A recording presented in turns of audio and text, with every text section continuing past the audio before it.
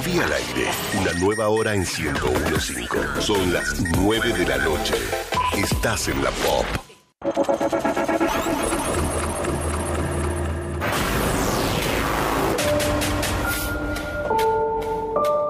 Es una época en la que escasean las ideas en televisión.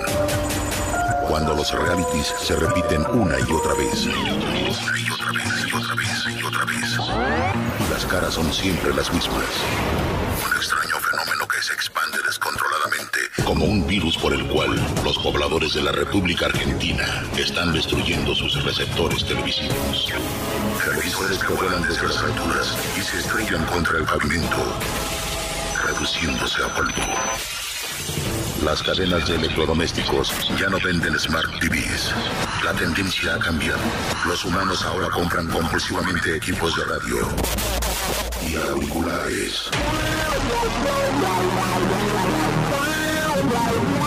Pasajeros que suben a taxis y piden a los choferes que suban el volumen porque quieren escuchar atentos. Familias que cenan sin una caja boba que las distraiga. Trabajadores nocturnos que se sienten acompañados y que disfrutan cada hora juntos. Chicos y chicas de todas las edades que escuchan y comentan lo que pasa en sus grupos de WhatsApp. Las noches de la Argentina están cambiando. Para siempre. Todos unidos en un mismo programa de radio. Un lugar donde los oyentes son protagonistas. Historias de terror reales, contadas en primera persona.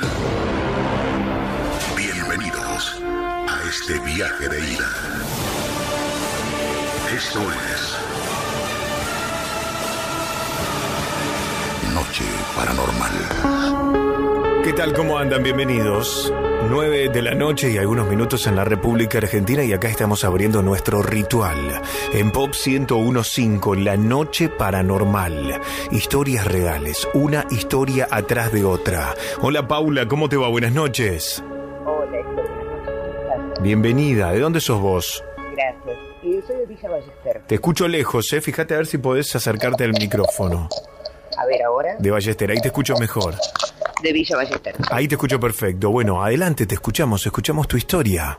Bueno, te quería comentar que hace unos años atrás tuve la suerte de viajar por primera vez en mi vida, porque no he podido viajar mucho. Eh, fui a la provincia de Misiones con la persona que en ese momento era mi, mi pareja y habíamos ido como una especie de mini vacación. eh, en un departamento que nos habían prestado para estar supuestamente un mes. Terminamos quedándonos como cuatro o cinco meses en el lugar y pasaban cosas bastante raras, bastante raras. Una de ellas en particular que me, me llamó mucho, mucho la atención fue que una noche intentando dormir, me costaba muchísimo a mí dormir todas las noches, siempre me pasó esto. Eh, entonces, bueno, tenía la costumbre de, como hacemos la mayoría, rezar, pedir por cada uno de, de nuestros familiares, amigos, etcétera, y entro en ese estado de sueño o de estado alfa y logro quedarme dormida. En un momento dado siento como que alguien me tironea de las piernas y me despierto de golpe. Entonces, ¿qué? lo primero que hago es intentar prender la luz y no llegaba donde estaba el- la toma de la luz. Y me di cuenta que estaba en la mitad de la cama. Al incorporarme en la cama, eh, abro los ojos del todo y, y llego a ver una persona parada en los pies de la cama, una mujer eh, joven, de tez blanca, con el cabello largo, negro, perfecto, un, pelaje espectacular hasta la cintura, muy bonita, pero lo único que hacía era llorar y mirarme. Y yo no tengo mejor idea que preguntarle qué era lo que le sucedía. Sin pensar en ese momento cómo habría entrado esa mujer ahí si la casa estaba completamente cerrada. No me respondió, solamente se quedó mirándome y en un momento dado giró y se dirigió hacia la puerta. Ahí logro ver que llevaba una altura de lo que era el piso a los pies, una altura que no era normal, y terminó traspasando la puerta de entrada de la casa. Ay, Dios. Eh, sí, quiero aclarar que hasta ese momento, si bien yo había vivido muchísimas cosas desde pequeña, tuve muchas, muchas cosas que he visto, eh, siempre fui muy, muy miedosa. Eh, en ese viaje a, a mis- a Misiones se me pasaron todos los miedos sabidos y por haber. Por este tipo de experiencia, digo, porque ahí lo que tuviste es una parálisis de sueño, pero con una presencia.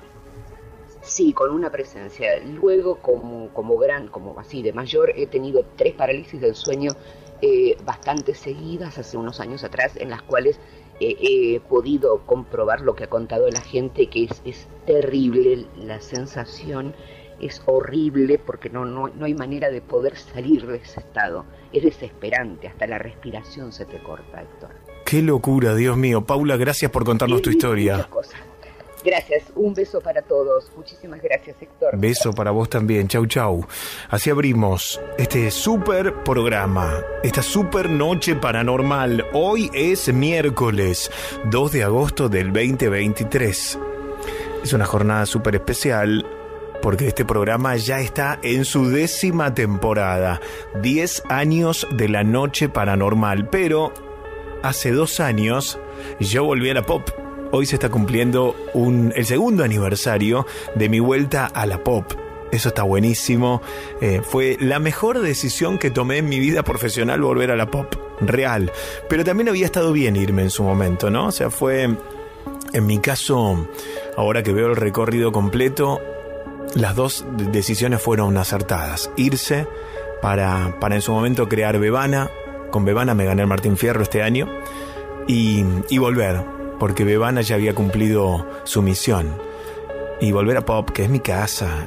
La verdad que le quiero agradecer siempre a las autoridades de, la radio, a Ignacio Vivas y a todas las autoridades de Pop, eh, Sebastián Pedrón, Iván Velasco, en su momento Carlos Infante, todos los que, los que me tiraron buena onda y, y con los que fue muy fácil conversar y volver al aire. Así que gracias, de verdad, los quiero. ¿eh? Y a todos ustedes también, a todos ustedes que, que hacen del programa este ritual de cada noche. A todos mis compañeros, que ahora los voy a saludar, pero fundamentalmente a vos que estás ahí. Realmente, a vos que estás ahí. Ahora te saludo, Mona, vamos a hablar de esto también para hablar conmigo en vivo esta super noche de miércoles. Agradable la temperatura también. 11 27 84 1073. Ese es el WhatsApp paranormal. 11 27 84 1073. Si querés llamarme por teléfono 4535 4204. 4535 4204. Banu, estás en vivo. ¿Cómo te va? Gracias, corazón. Nosotros te escuchamos siempre. Bueno, mira, esto sucedió en marzo que nos decidimos a ir de vacaciones y a pasar mi cumpleaños en el norte. Eh, justo cuando estábamos yendo por la ruta 34, creo que es, no me acuerdo muy bien qué ruta es, pasando, llegando a Maimará, Jujuy, eh, viste que están los cementerios, no sé si conoces, que están los cementerios de las montañas. Sí, sí, sí, se ven de hecho. Con mi marido íbamos sin música, sin nada, hablando del país viendo todo lo, el panorama, ¿no? de repente se empieza a sentir como una campanita adentro del auto. ¿Viste esas campanitas que, tocan las señoras cuando llaman a las mucamas? Sí, sí. Entonces yo empiezo a, pensar, digo, ¿de dónde sale este, este, ruido? Y le pregunto a mi marido, ¿vos escuchás el ruido de la campanita? Era una, una campana, pero mal, o sea, y me dices, escucho. Y, pero ¿tenés algo para que suene así? No, me dices, raro.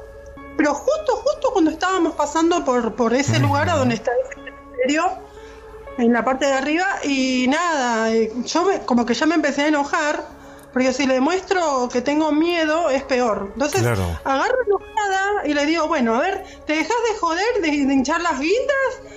acá no te queremos, viste, lo, lo, saqué así como con bronca, como echándolo. Y, y nada, yo estaba enojada porque no, no sabía que era algo fuera de lo, de lo normal. Qué bárbaro, seguro, seguro y capaz tuvo que ver con, con niños, ¿no? Con, con almas de niños. Gracias, Manu, te mando un beso, gracias por estar con nosotros hoy como que se fue de inmediato, Héctor. Así que bueno, te mando un beso y la radio está genial. Siempre te escuchamos con el Un beso para todos. Besos, chau, chau. Gracias a todos ustedes. ¿eh? En vivo nos pueden seguir también en Instagram. Estoy en arroba Héctor Locutor OK. Arroba Héctor Locutor OK. Romina La Mona Carballo. Hola, Mona, buenas noches. Muy buenas noches, Héctor Rossi. Para, buenas para, Hoy, hoy rompamos el clima paranormal, Mona, porque estamos cumpliendo dos años juntos en la pop, querida. Espectacular, ¿eh? Estamos una, década de programa, pero hace dos años que, que me tocó volver a la radio y que estamos juntos. Consecutivamente, Vamos, Héctor, dos años juntos con las mejores historias de ustedes que están del otro lado, apoyando cada noche, como siempre decimos, como dice Héctor, ustedes hacen que sea este éxito la noche paranormal, que nos emociona, que nos da ganas de venir a hacer todas las noches, las historias que muchas veces son dolorosas, Sí, claro. son difíciles de contar, Héctor, a veces cuando eh, nos llegan las historias y le ponemos voz, como siempre decís, son, son duras, son difíciles porque hay gente que, que no puede descansar tal vez en una casa, que perdió un ser querido, que ve a su mascota que regresa, que tiene una señal. Bueno, nosotros nos conmovemos con todas esas historias y no nos pasan de largo. No, Por eso verdad. es el éxito y como dice Héctor, los paranormales son nuestra familia también. Real, ¿eh? Nosotros vamos a festejar estos dos años y también vamos a festejar el cumple de la mona el domingo 20 de agosto. No falta mucho, ¿eh? No. En 18 días vamos a estar en vivo como todos los domingos, pero con cámaras. Con todo. Como hicimos hace un mes y pico, vamos a estar con cámaras el domingo 20 de agosto y festejamos tu cumple. ¿Querés decir cuántos cumplís? No. No, que cumple 28 la mona y los dos años de la nueva temporada de La Noche Paranormal. ¿Ok? Así que hoy el festejo es solo mencionarlo, ustedes nos pueden saludar obviamente y los vamos a leer a todos, pero el 20 de agosto, el domingo, pueden venir acá a la puerta de la radio. Sí, porque siempre tenemos un domingo que es especial, que es el más especial de todos, donde viene la gente, viene el público, viene Arte Nicaragua y nos parece que es ideal compartirlo con ustedes y lo vamos adelantando, así se suman, se pueden organizar y festejar junto a nosotros estos dos años, pero en realidad son diez en total que Héctor lleva adelante la conducción y sobre todo la idea y creación de esta hermosa noche paranormal.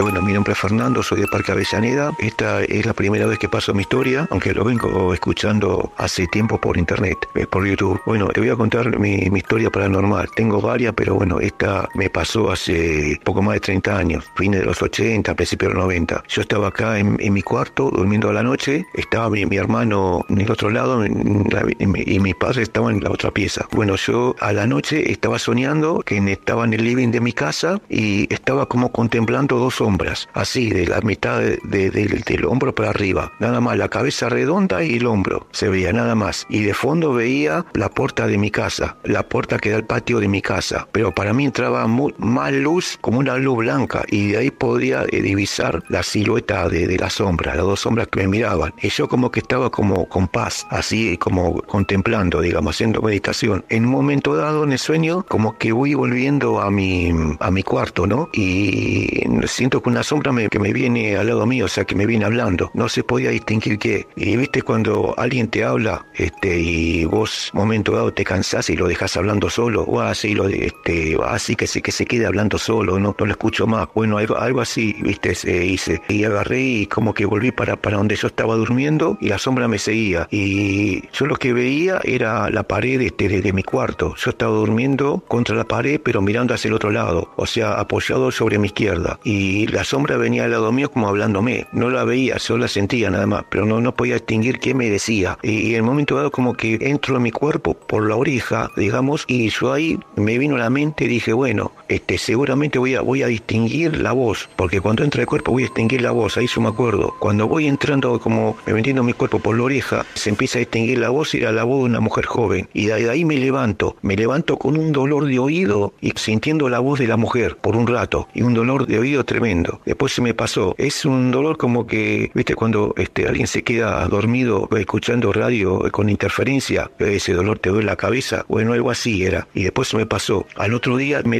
bueno, y, y me, me dio la impresión de anoche haber estado dando vueltas por mi casa. Y no sé si creo reventar. Después hace un tiempo, este, hace, en el 2004 fui a un recital, no sé qué, y perdí la- un poco la, justo de este oído, donde sentí la voz de la mujer, perdí un poco la, la audición de, de este oído. Me quedó con un poco menos de, de audición de este oído que yo sentía la mujer. Es creído reventar. Bueno, esta es mi historia paranormal. Tengo más, más historia para contar y bueno, en otro momento voy a, voy a mandar más. Los escucho siempre, no por la radio, sino por internet.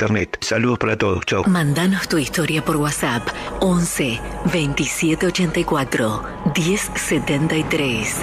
Hola Héctor, te cuento, somos ocho en la familia, somos de Paraguay. Vinimos en el 2011 con cuatro hijos. Mi marido y yo alquilábamos tres veces desde que llegamos y acá en la última casa nos cuentan los vecinos que En el casco de la estancia, las paredes son muy anchas y las ventanas muy viejitas. Un día yo había quedado embarazada, una noche de agosto se armó una tormenta terrible y entre relámpagos aparece un hombre. Yo tenía la ventana cerrada. En algún momento pensé que era una de mis costureras que me estaba espiando. Se lo conté a mi esposo. Y él me dijo, debe ser tu primo o alguien que estaba ahí chusmeando. A lo que, con el tiempo, me vengo a enterar que habían visto también, además de una sombra, un perro negro. Yo no tenía perro, no tenía gatos, no tenía mascotas. Una noche, después de estar con el embarazo a término, rompí bolsa y volví a verlo y vi un perro en la ventana. Él me dijo que iba a perder a mi bebé. Todo esto termina en la misma noche en la que fallece mi abuela en Paraguay. No nos quisieron contar porque yo estaba yendo directamente al hospital por la pérdida. Tengo más historias para contarte, Héctor. Te mando un abrazo. Hola Héctor, mira, a mí me pasó una vez esto. Yo estaba con mi novia eh, hace 20 años atrás, aire prácticamente lo tenía muy poca gente, 25 años atrás, un calor de la puta madre en mi casa. Entonces le digo a mi novia, vamos arriba a dormir en la terraza. Bueno, me dice, cielo todo estrellado. Y le digo a mi novia, mira esa luz, le digo, le digo, qué rápido que se mueve. Y vos sabés que termino de decir eso y la luz hace Imagínate tipo un, ¿viste el dibujo de un rayo en el, en el cielo? Pero viste así en un segundo. Ese tipo cruzó todo el cielo en un segundo y desapareció. Si eso no es un ovni, qué carajo es, no sé. Pero esa es mi experiencia y me pasó a mí, no es que me lo contaron ni nada. Fue una luz que se movió a una velocidad, eh, habita en el cielo. Imagínate una estrella que cruza todo así el cielo en un segundo. Eso me pasó. Saludos. Son historias verdaderas, contadas por sus protagonistas.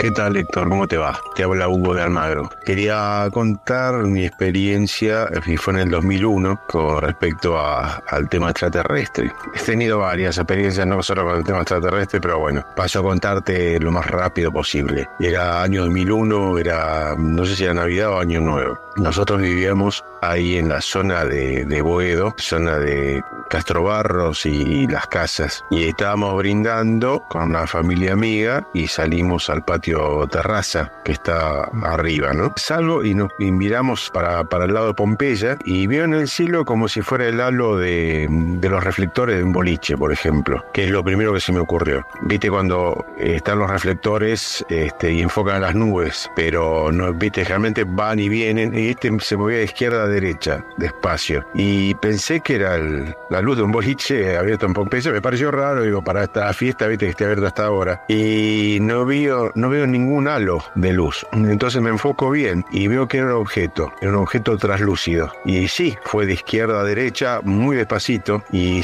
claro, se, se, transparentaba las nubes. Y me quería morir cuando lo vi, y resulta que al lado estaba el dueño de casa, y le digo al viejo, le digo, mire, mire, mire, don, Ángel, mire. Y el viejo miró para lado, digo, y mi mujer estaba adentro, adentro brindando, y yo digo, la puta madre, no lo, no lo vio nadie, me quería matar. Años después entré a trabajar un lugar que está ahí en Parque Chacabuco y lo comento también en una reunión y una de las chicas me dice sí, que había salido en los diarios. Así que bueno, esa fue una de mis experiencias de avistamientos de objetos no identificados. Un objeto translúcido ovalado, enorme. Buenas noches, gracias.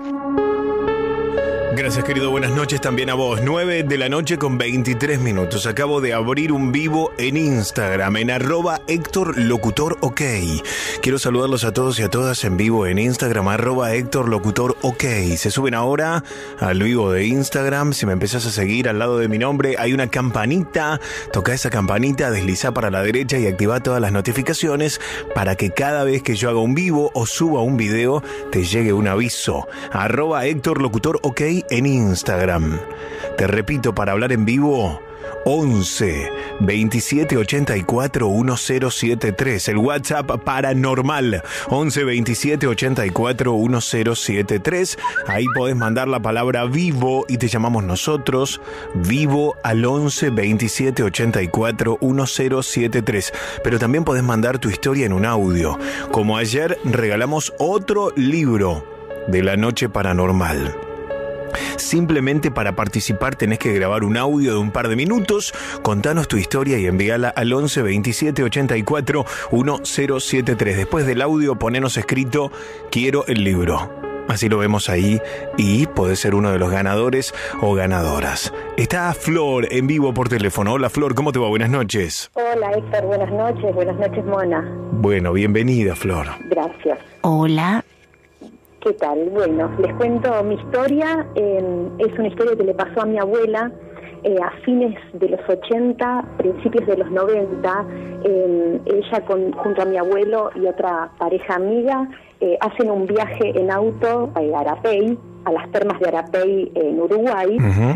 Y cuando ya están volviendo, hacen una, una parada técnica, bueno, para descansar, ir al baño, y eh, en esa zona justamente se encuentran con lo que había sido el cuartel eh, de Arapey, que por supuesto ya no funcionaba, y eh, mi abuela se topa con una tumba, con una cruz que simplemente tenía como una leyenda que decía víctima de su error y el nombre del soldado que estaba ahí enterrado, que era el soldado Silva. Eh, y a ella algo le pasó en ese momento, es como que se conmovió por lo que, lo que le había pasado. perdona, la frase es medio fuerte y extraña, víctima de su error.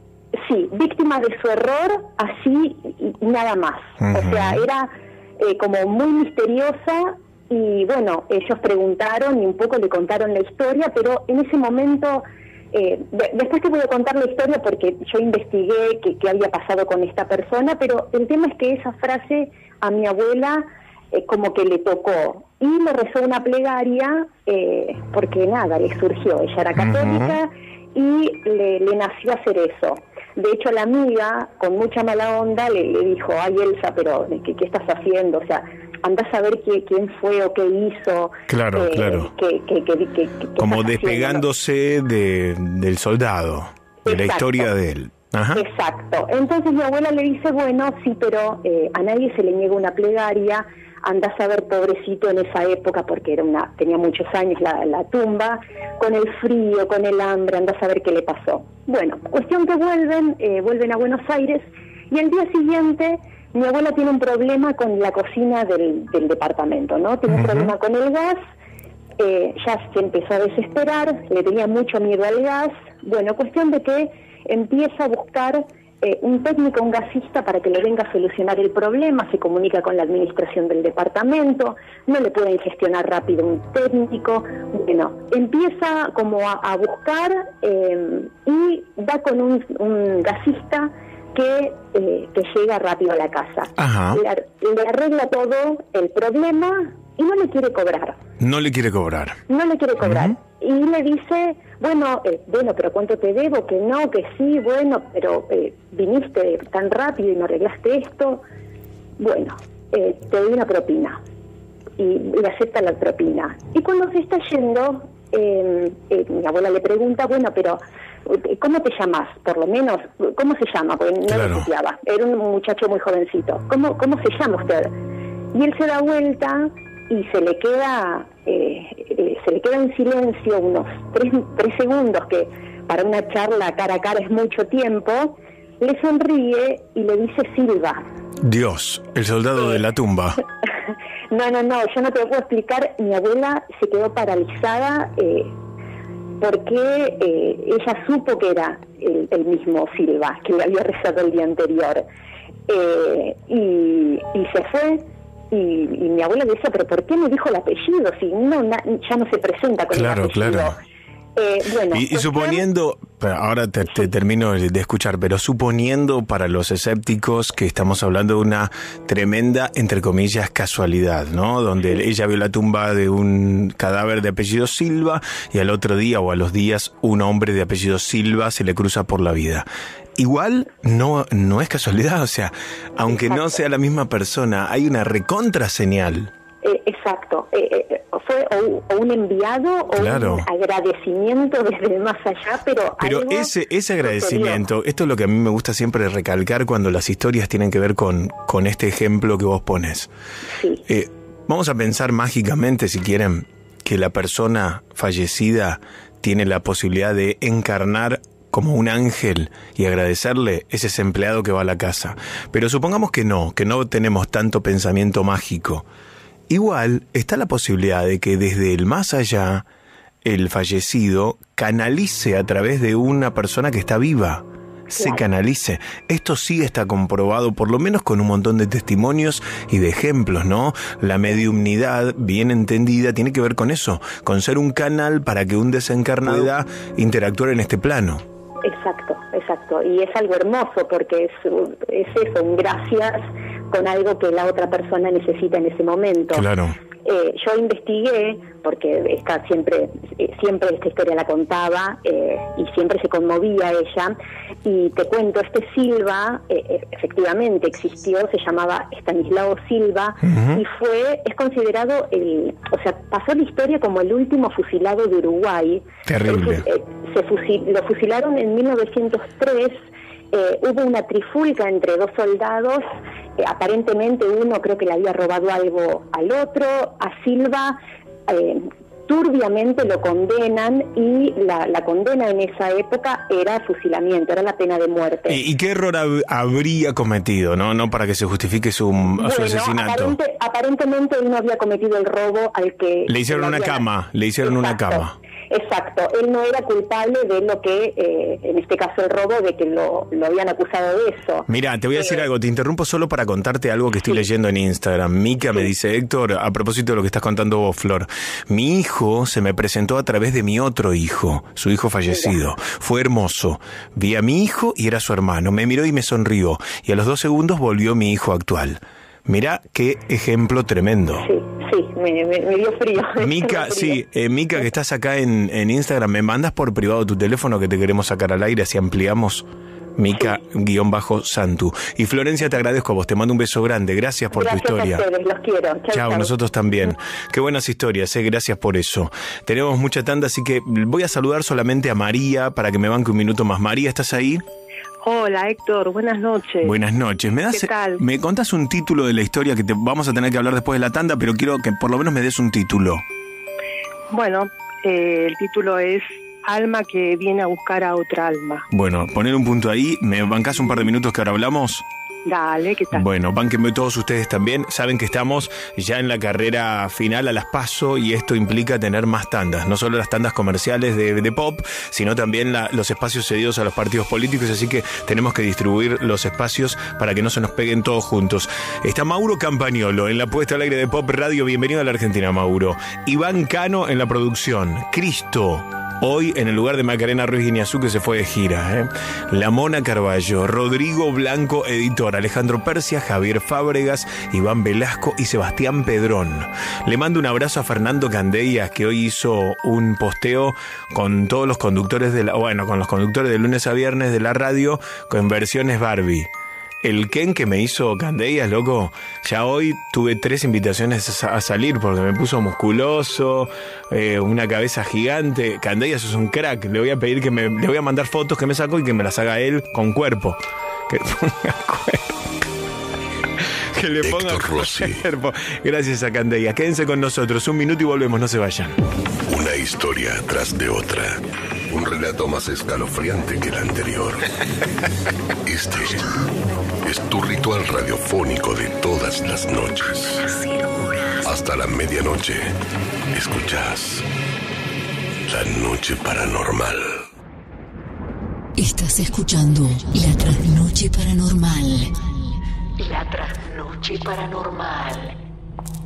En el canal de YouTube de Héctor Rossi. La trasnoche paranormal. Ayuda mucho para el algoritmo que des un like a este video, lo compartas y dejes un comentario. Si no lo haces,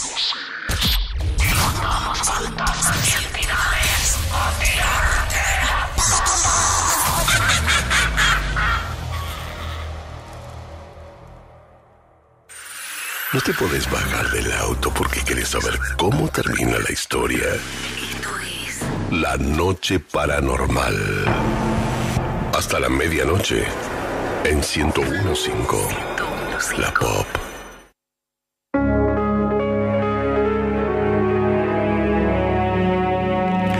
Gracias María por estar ahí. ¿Estás? Te saludamos de nuevo. Hola. Bueno, ahora sí, tenemos tiempo para escucharte. Adelante. Hola, ¿qué tal? Buenas noches. Eh, mira, esto sucedió eh, el año pasado, el 8 de julio. Eh, mi suegra se descompone, tiene un infarto, la llevamos de emergencia a, la clínica, eh, donde, bueno, la la sacan y vuelve a normalidad. Para que se está entrecortando. Sí, se entrecortó todo lo que dijiste recién. Decime de nuevo, ¿tu suegra? Sí, mi suegra fallece el año pasado, Sí. el 8 de julio. Ella se descompone. ¿Me escuchás? Sí, sí. Eh, le agarra un infarto. eh, la lleva a la clínica de emergencia. Bueno, la ranita la sacan, logran sacarla y le hacen todos los estudios. eh, por-. Los cuales todo nivel extraordinario. En ese momento nos explicaba cómo ella tuvo un infarto y los resultados salieron extremadamente, pero eh, bien, digamos. Eh, la ponen en una habitación y al rato entra una señora que va a compartir la habitación con ella. Nosotros estábamos esperando afuera, en el pasillo, con mi cuñada, mi marido, mi cuñado, y a las 2 de la mañana sale esta señora, que ya la habíamos visto nosotros anteriormente en la habitación, eh, corriendo, desesperada, diciéndonos, tu mamá se murió, tu mamá se murió, tuvo un infarto, tu mamá se murió. Y a nosotros nadie nos había avisado que mi suegra había fallecido. Nadie salió a decirnos nada. Entonces, esta señora nos, nos hablaba y nos decía, les doy mi pésame, lo siento mucho. Y nunca, Héctor, nunca nos miraba a los ojos, nunca nos levantó la mirada. Ella nos decía, lo siento mucho, ella se fue contenta, amaba a sus nietos, amaba a su familia. Eh, ¿Cómo ella sabía todo eso? ¿Cómo lo supo? Eh, lo siento mucho, yo me tengo que ir de acá, yo no puedo soportar esto, dijo la señora. Y se retiró de la guardia, eh, no la vimos, no sabemos por dónde salió. Después de 45 minutos que nosotros calculamos que fue la reanimación de mi suegra, sale la doctora y nos dice, sí, efectivamente, que ella había fallecido. Qué bárbaro. El tema es que esta señora, nadie salió a No, buscarla de la guardia. ¿Cómo, ¿Cómo le llegó la información? Esa es, ¿no? Claro. Eh, sí, yo, yo siempre digo, eh, para mí esta señora la preparó. Claro. Para mí esta señora, eh, no sé cómo explicarte, porque ella no nos miraba a los ojos, parpadeaba, miraba para el piso y, y estaba en un estado de shock y decía, yo esto no lo puedo soportar. Eh, ella amaba a sus nietos, amaba a sus hijos. ¿Cómo supo todo eso ella? Eh, no la conocíamos, claro, no sabíamos claro. quién era. Claro. Y de repente sí sabemos que una guardia o de un hospital o de una clínica misma, eh, una persona se puede retirar y nadie se entera, ¿no? Claro. Pero, eh, ¿cómo supo todo eso ella? Y, y aparte, la doctora estuvo, previamente a que mi suegra eh, falleciera, después que la sacaron del, del paro, eh, con mi cuñada y mi marido, explicándole que los análisis habían dado bien, que los valores estaban bien, que ellos nos explicaban qué es lo que le pasó a mi suegra, que ya la pudieron reanimar, que ya está estable, que bueno, que la van a seguir controlando, que iba a quedar esa noche internada, que, que nos quedemos tranquilos porque estaba todo bien, que no había nada que, que preocuparse porque bueno, no, no, no había una explicación de por qué ella había tenido ese, ese impacto anteriormente. Y al, después la doctora nos terminó pidiendo disculpas, perdón, porque ellos tampoco entendían lo que le había pasado a mi suegra. Y esta señora eh, fue algo, yo dije, es un alma o es un guía espiritual que como mi suegra tenía terror a la muerte, terror, era una fobia, eh, no saber cómo iba a ser, cuándo iba a ser. Eh, yo pienso que, no sé, que el universo o algo le mandó a ese a esa alma claro. para que la preparara, y para que se fuera en paz porque cuando nosotros la vimos después de fallecida tenía un Héctor era inexplicable su cara. Una cara de paz una cara de decir bueno ya está ya me fui eh, estoy bien era una cosa increíble, increíble. Gracias María por contar tu historia. Te mandamos un beso grande.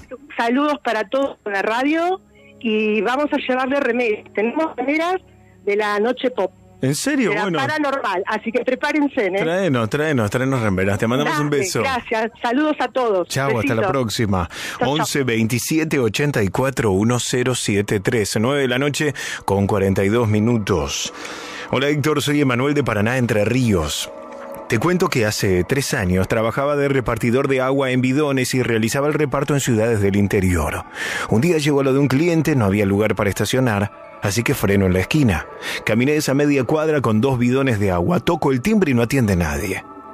Mientras esperaba, se me dio por mirar por la ventana y observo que había un chico que se veía por el pasillo de la casa. Cuando me vio salió corriendo. Lo perdí de vista.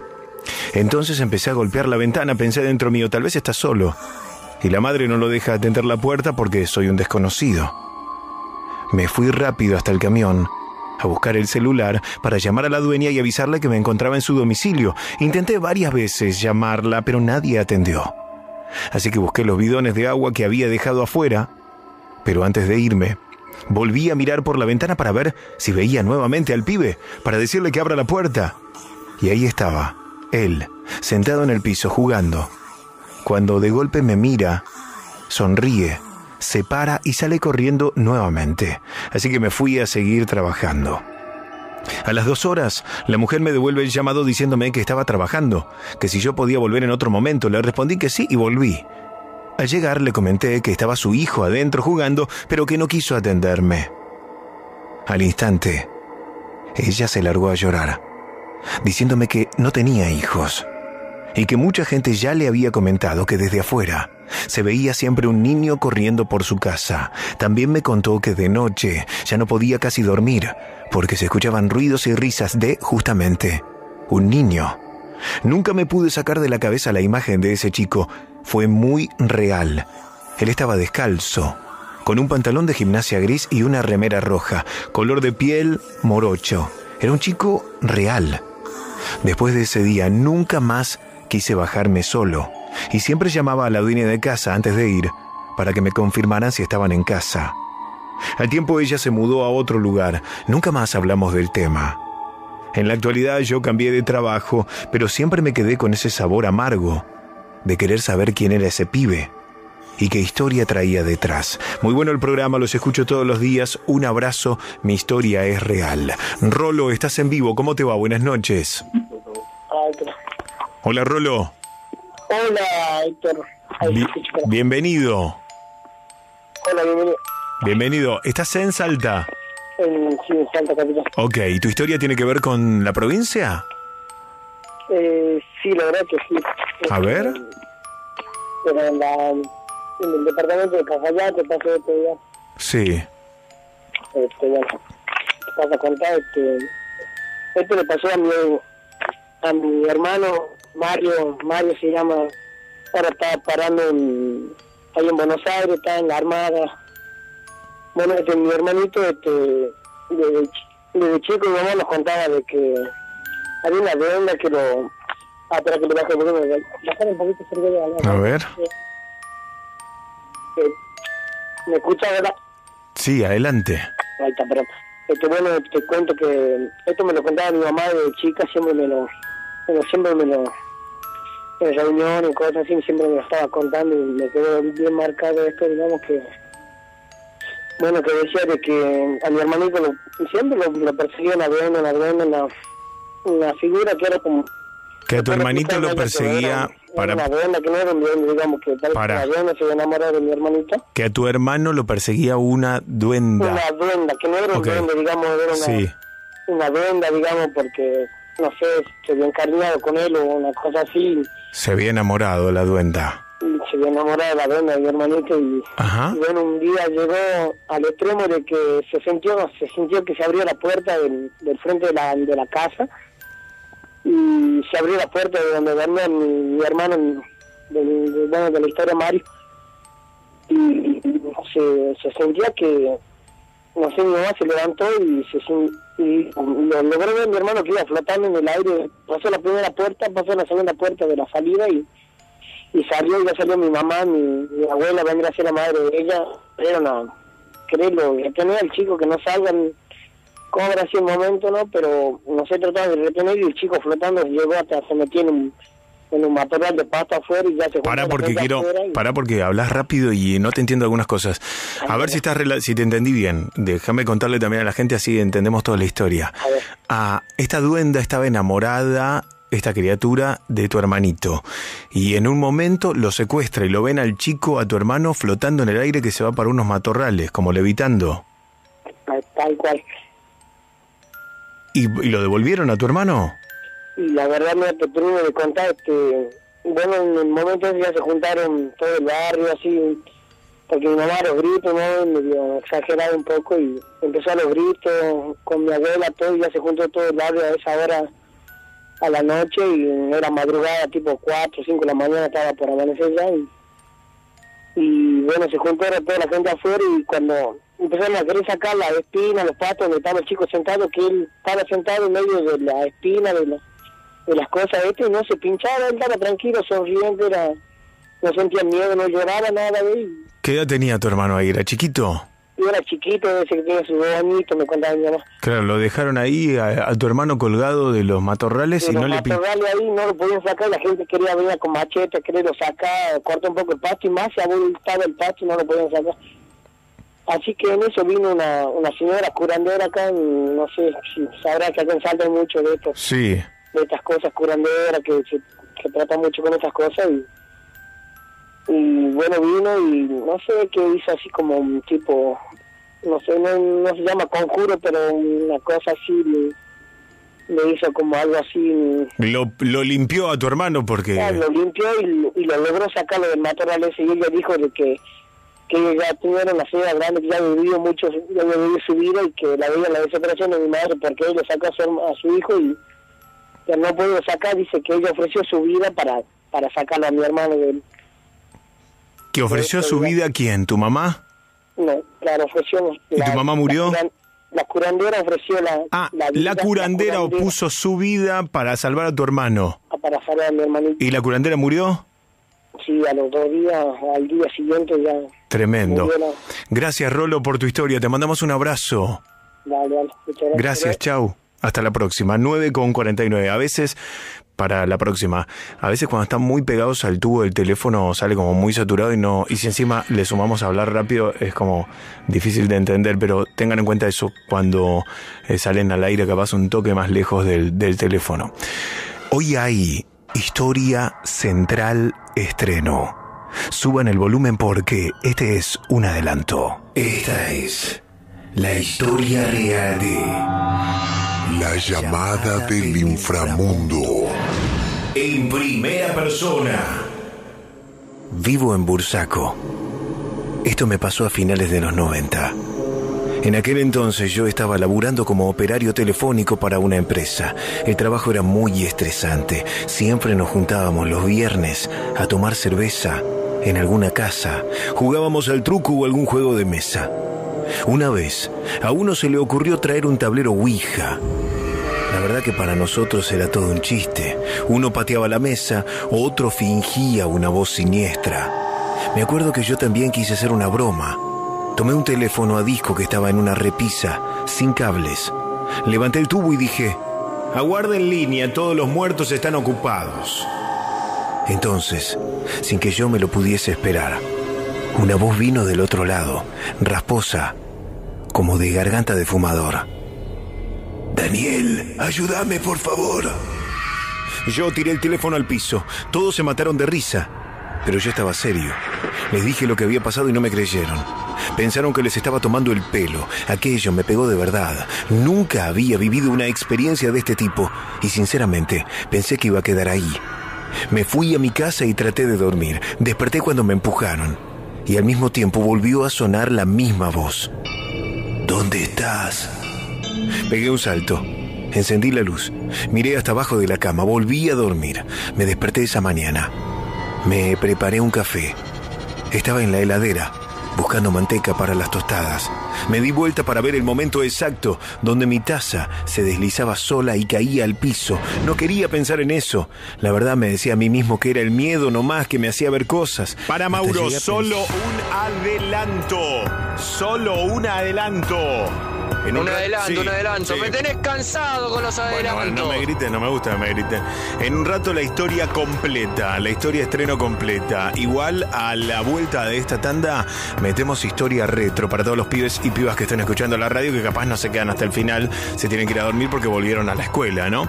Faltan 8 minutos para las 10 de la noche. 4 535 4204 es el directo de Pop. Llámanos en vivo. 011 4535 4204 el WhatsApp Paranormal 11 27 84 1073. 11 27 84 1073. Ya sabes, la palabra vivo.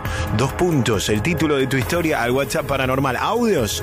Tomate dos minutos, graba tu audio, te llevas un libro de la noche paranormal. Contame tu historia en audio. 11 27 84 1073. Si tu historia es más larga, la podés escribir o la podés mandar por correo electrónico y tu historia puede ser historia central. Trasnoche paranormal arroba gmail.com.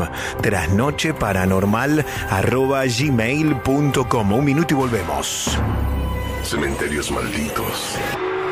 Carreteras llenas de almas en pena. Casas embrujadas.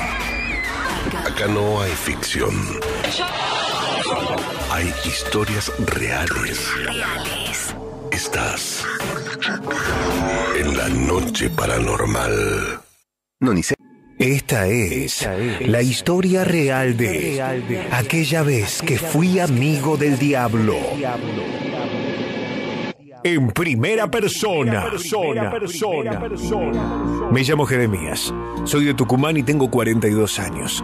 Las cosas que voy a contar pueden no solo parecer algo inverosímil, pero aún también podrán verse como poco éticas. Pero juro que todo lo que pasó más de dos décadas atrás es verdad.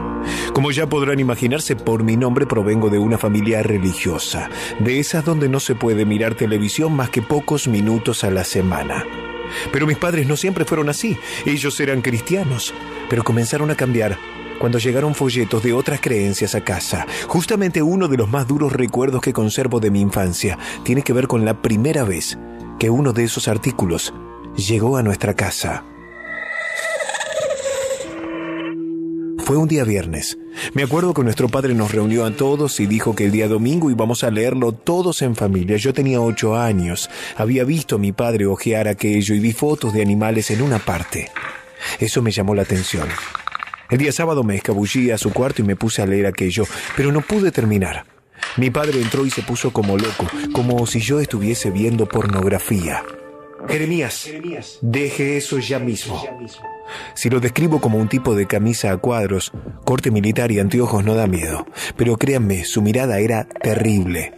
Estaba furioso de que yo no haya respetado su regla. Mi castigo fue sentarme de rodillas sobre granos de maíz el día domingo, mientras el resto de mi familia leía el folleto. Ahí fue la primera vez que oí una voz. En nuestro patio teníamos un muro que daba a un terreno baldío. Yo pensé que era mi imaginación. Esa voz me decía, Jeremías, mira cómo estás sufriendo. Si vas y quemas la casa, yo no le cuento a nadie. Pero no eran fantasías. La voz iba a perseguirme cada tanto. En otra ocasión, teniendo 13 años, yo cuestioné el material de lectura. Decía que una de las causas de que un hombre sea violento con su mujer era que éste sea pobre o que convivan sin casarse. Le hice ver esto a mi padre, pero lo único que recibí en respuesta fueron cachetadas por no creer en la palabra de Dios. Me retiré a llorar a mi cuarto. En esa ocasión escuché golpes en mi ventana y aquella voz de nuevo, que era como de un fumador, ronca y con falta de aire. Pequeño Jeremías, ¿vas a dejar que te pegue sin darle de vuelta? ¿Saben cuál era el problema? Mi cuarto estaba en un primer piso Recién pude ver a este visitante cuando cumplí los 19 años. Fue todo derivado de la muerte de mi madre. Ella había perdido sangre debido a un accidente, pero los de mi culto se negaban a realizar transfusiones. Verla ahí en el ataúd, sabiendo que pudo haberse salvado, fue demasiado. Salí del velatorio y me fui a sentar en el banco de una plaza. Al rato nomás, aquella voz regresó. Mira lo que permiten y después dicen que soy yo el malo. Observé a ese que hablaba. Era un tipo regordete calvo con lunares en la cabeza. Tenía una camisa blanca y un chaleco negro. En el dedo índice tenía un anillo de oro. Fumaba un habano. Me ofreció y acepté, aunque nunca había fumado. Lo hice como si fuese un experto. Muy jovial el extraño me dijo, Vamos a comenzar con tu viejo. Él empezó todo esto. Vos tenés que ponerle este anillo cuando le pase algo malo. Ahí vos vas a ser mi mejor amigo. Yo miré al tipo sin decir nada, y él me entregó el anillo. Medité cómo podría ponérselo sin que se diera cuenta. Recordé entonces que cuando mi padre dormía, se sacaba el anillo nupcial y lo ponía en la mesa de luz. Durante la noche reemplacé los anillos. Él ni cuenta se dio. Por la mañana pasó algo inaudito. En casa no teníamos pava eléctrica, sino esos calentadores que se enchufan y se meten directamente en el agua. Mi padre estaba calentándose agua para un té, cuando aquello comenzó a dar chispazos. No podía soltarlo. Aquello lo estaba electrocutando.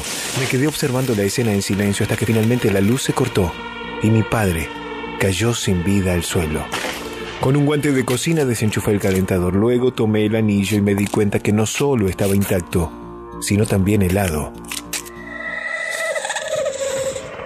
Fue el primero de muchos.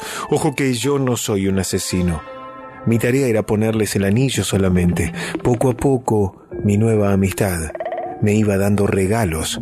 Primero eran mujeres. Hasta mis 20 años yo ni siquiera había tenido un primer beso.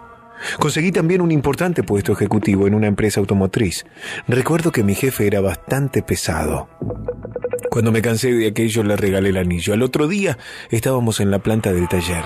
Dicen que lo que sucedió fue una falla mecánica. El jefe se agachó para verificar una de las ruedas del auto, cuando éste arrancó solo. Le pasó por encima y le aplastó la cabeza. Todavía me acuerdo el sonido que hizo. Era como un melón al reventarse. Yo aproveché que todos se pusieron a correr de un lado al otro y en la distracción le volví a quitar el anillo. A mis 25 años tenía dinero, poder y me codeaba con famosos de todo el país. Mi vida fue un caos de drogas y excesos.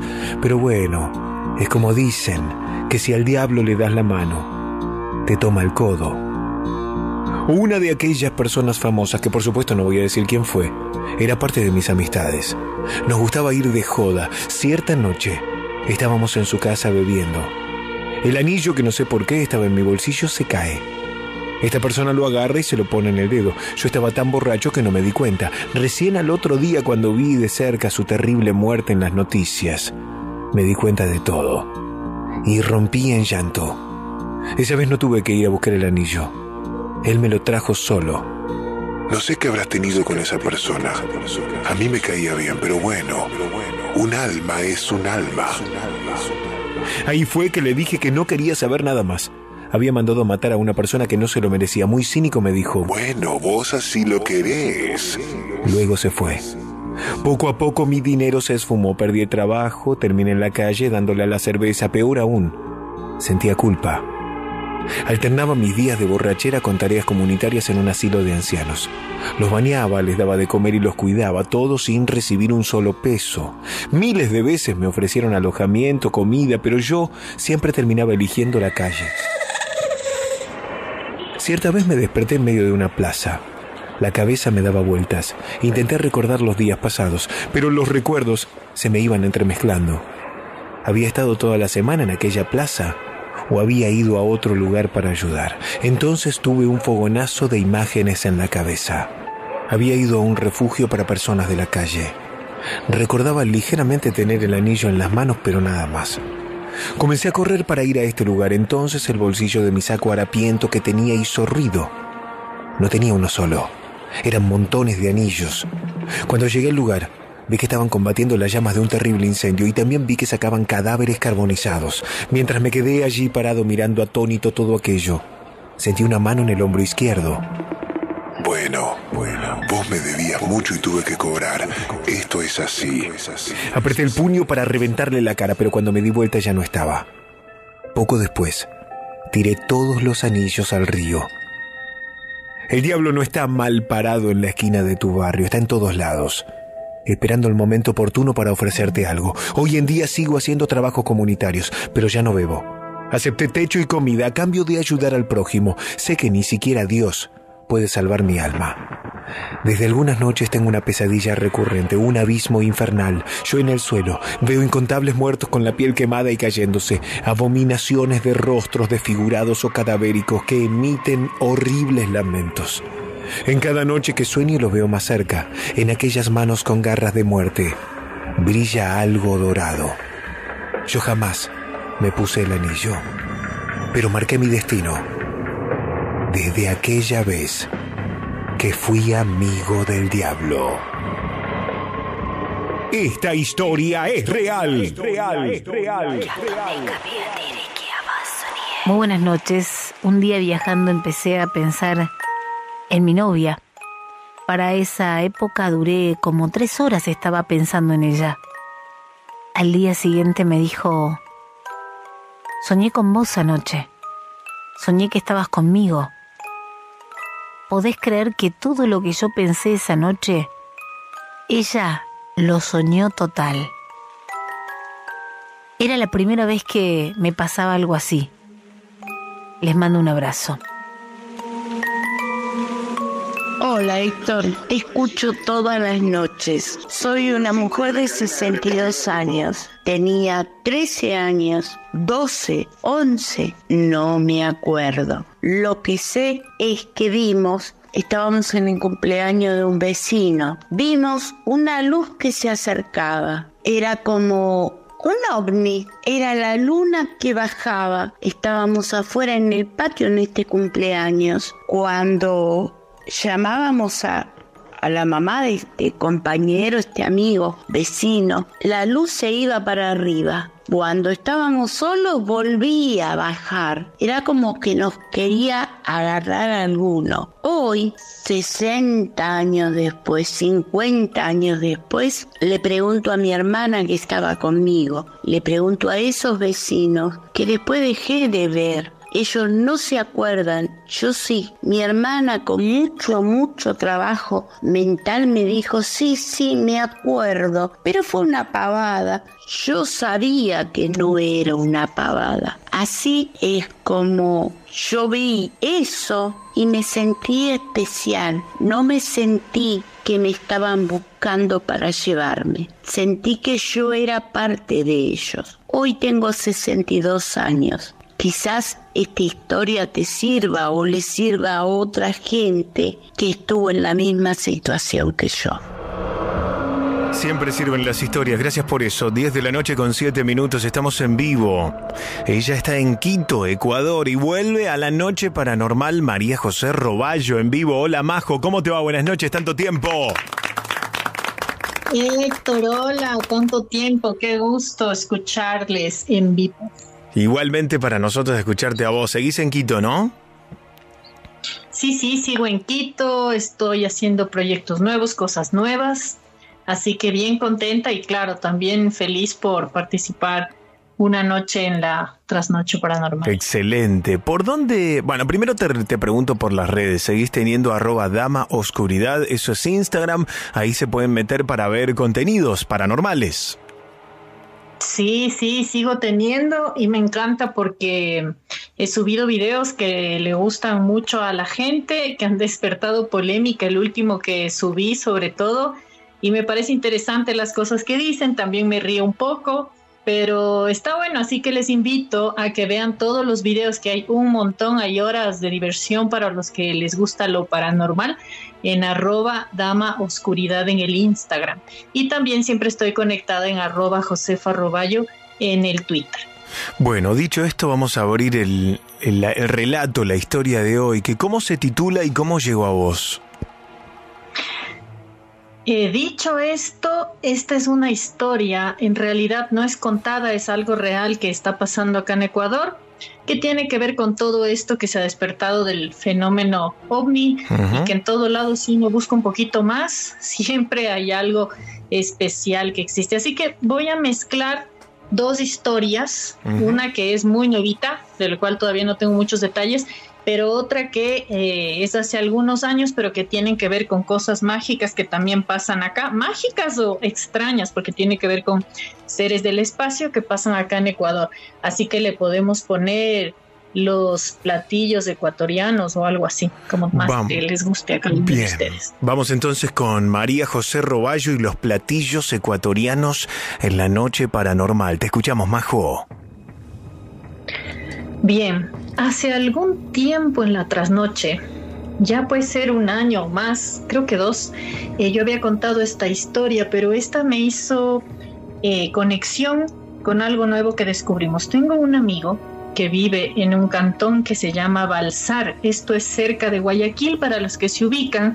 Guayaquil es la segunda ciudad más importante del Ecuador en la zona costera y más o menos a una hora de Guayaquil queda un pueblo de nombre Balsar. Pero ¿qué tiene de especial Balsar más que ser un pueblo común, pequeño de la costa, caluroso? Que en lo alto de una loma, hace muchos años, estamos hablando de 1950, llegó un gringo. No se sabe bien de qué país era porque aquí normalmente a todo extranjero que no hable castellano se le dice gringo. Llegó y vivía solitario en esa montaña Dice la gente que él algún tipo de conexión tenía porque empezó a hacer una casa, pero esta casa no era normal. De hecho, si la ves ni siquiera tiene forma de casa. El tipo en ese tiempo construyó una verdadera nave extraterrestre. Para que tengan una idea, es una especie de platillo volador que está hecho entre cemento y metal y es muy muy grande, tiene como unos 200 metros de construcción y todos se preguntaban qué hacía él con ese platillo. Pero se dice que cerca de ahí también construyó una pista de aterrizaje y el hombre vivió ahí por más de 30 años. Eh, no se sabe bien qué es lo que hacía, pero él la dejó abandonada y de hecho ahora es un lugar que muy pocas personas se atreven a ir a conocer porque les da miedo del fenómeno. La idea es ir a investigar y ver qué más puede haber ahí pero esto me hace conexión con otra parte que es en la costa, un poco más hacia la parte del oriente, que se llama La Maná. En ese lugar se conoce también que está construida una pista. Uy, justo empiezan a ladrar los perros. Sí. Parece, para, estás, estás, hablando, hace mucho que no estabas al aire, está María José Roballo en vivo, digo, y justo cuando te empezás a meter en la parte fuerte de la historia, tus animales marcan territorio, empiezan a ladrar. ¿Pasó algo? No, no sé, están, están por la sala y estoy acá al otro lado, pero siempre pasa, siempre pasa. ¿No te da miedo? No, no, no, no, no me da miedo. No, por lo menos de los extraterrestres no. Bueno, te si escuchamos. por ahí de otras entidades sí. Está bien, te escuchamos. Entonces, les seguía diciendo que en ese lugar que se llama La Maná, se conoce porque de ahí sale una agua que es de manantial, un agua que ahora es embotellada, que es un agua que tiene partículas de oro y plata. Y de ahí también hace muchos años está construida otra pista de aterrizaje. Y de hecho las personas del pueblo dicen que cada cierto tiempo vienen naves a extraer el agua. y se llevan el agua de estos manantiales por cantidades a través de una especie de tubos que bajan desde las naves, porque esta agua, eh, esto es real, no es inventado, se puede conocer esta agua, está compuesta por partículas de plata y partículas de oro. Y exactamente para cerrar y que quede un poco la intriga y lo puedan investigar, en ese lugar donde sale el agua se encontró la tercera pirámide que exactamente marca la tercera parte del planeta. Me explico, se dice o dice una leyenda que hay tres pirámides que dividen el planeta en tres partes. La una queda en Egipto, que son las pirámides de Giza, las otras quedan en la parte oriente eh, del planeta. Ay, se me fue el nombre, pero es como por Irak. Y la tercera parte cuentan que fue aquí en Ecuador. Y de hecho esa pirámide, que es una piedra maciza pequeña, existe. Y fue justo en este lugar de la Maná donde hay esta pista y la gente te habla que existen, donde se encontraba esta tercera pirámide. Así que no sé, supongo que algo magnético, algo tendrá Ecuador, algo tendrá mi país para que estos seres también lleguen y hagan conexión en todas estas partes de la costa. María José Roballo en vivo con nosotros. La pueden seguir en arroba dama oscuridad, arroba dama oscuridad, arroba Josefa Roballo. Bueno, ahora nos vamos a escuchar todos los miércoles, así que te digo hasta la semana que viene, Majo. Sí, espero que sí. Y Héctor, estoy haciendo un nuevo proyecto al que te voy a invitar, así que te comprometo en la radio a que estés presente conmigo en mi proyecto Dale. próximamente. Me encanta, contás conmigo siempre. Te mandamos un beso grande, Majo. Un abrazo, que estén muy bien. María José Roballo, en la noche paranormal, este aplauso es para vos. Las 10 de la noche con 14 minutos para hablar en vivo 11 27 84 1073 el WhatsApp paranormal 11 27 84 1073 o la palabra vivo a ese número. Casi las 10 y cuarto, un minuto y volvemos, no se vayan. 1015 La noche paranormal. Héctor Rossi en la pop. Estás escuchando La Trasnoche Paranormal. La Trasnoche Paranormal. En el canal de YouTube de Héctor Rossi. La Trasnoche Paranormal. Ayuda mucho para el algoritmo que des un like a este video, lo compartas y dejes un comentario. Si no lo haces,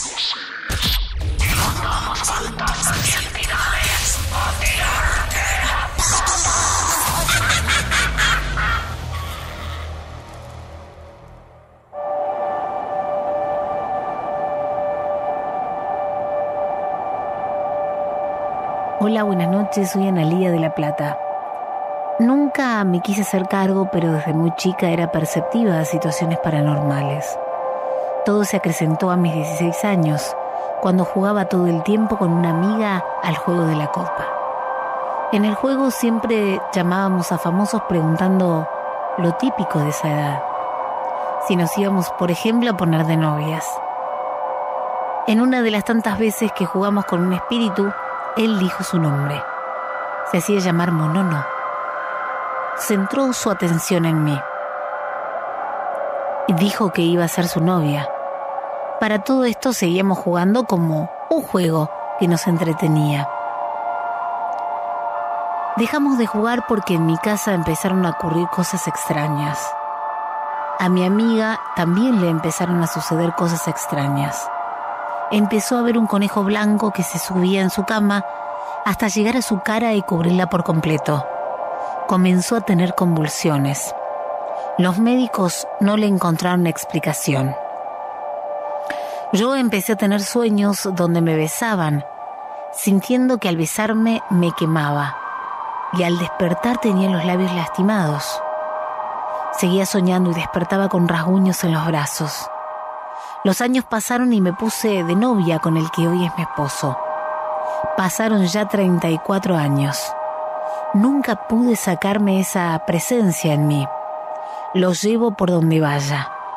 Hay épocas en que su presencia se siente más fuerte que otras.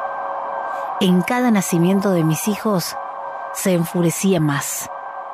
Mis hijas también nacieron con el don de ver y escuchar presencias. La de 15, cuando tiene parálisis del sueño, suele ver un hombre y le da mensajes. En casa este año tuvimos invasión de polillas y esta presencia le dijo que las polillas estaban porque él estaba. Vinieron a bendecir la casa. Por un tiempo se calmó. Se nos hace difícil poder despedir a alguien que fallece o pasar por el cementerio, porque siempre nos traemos a alguien que deambula triste o enojados por haber muerto. Esta es parte de mi historia. Les mando un abrazo. Me encanta el programa.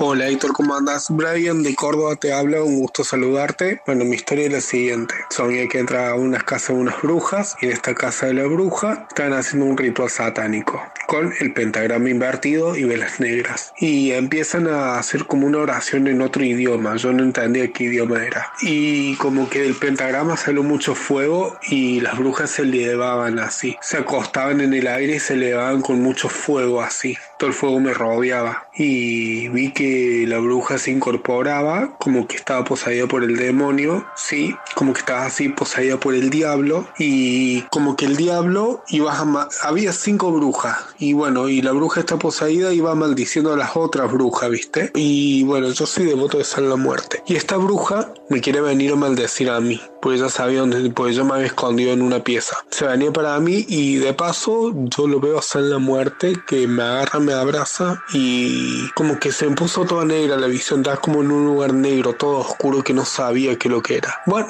le hago cortita la historia. Cuando yo vuelvo en sí en las casas de las brujas, me dice, vos tenés olor a azufre, no, no tenés, no te ha tocado, no, le digo, pues yo soy devoto en la muerte, el diablo a mí no me ha tocado. Ah, qué suerte, nosotros nos has maldecido. No sé si será un sueño o, alguien me querido tirar una maldición. Desde ya muchísimas gracias, excelente programa. 10 de la noche, 21 minutos. Hola Héctor, mi nombre es Romina. Quiero contarles algo que me pasó. Yo vivo en Rosario, pero de 2007 a 2010 vivía en Capital. Viajaba los fines de semana a Rosario y volvía el lunes directo al trabajo. Un día volvía en micro. Me bajo en retiro y me tomo un taxi. Yo vivía en Cabildo al Mil. El taxi agarra por Libertador, sube por una calle hasta Cabildo y ahí me fijo que estábamos en Cabildo al 500. Faltaban cinco cuadras para bajar.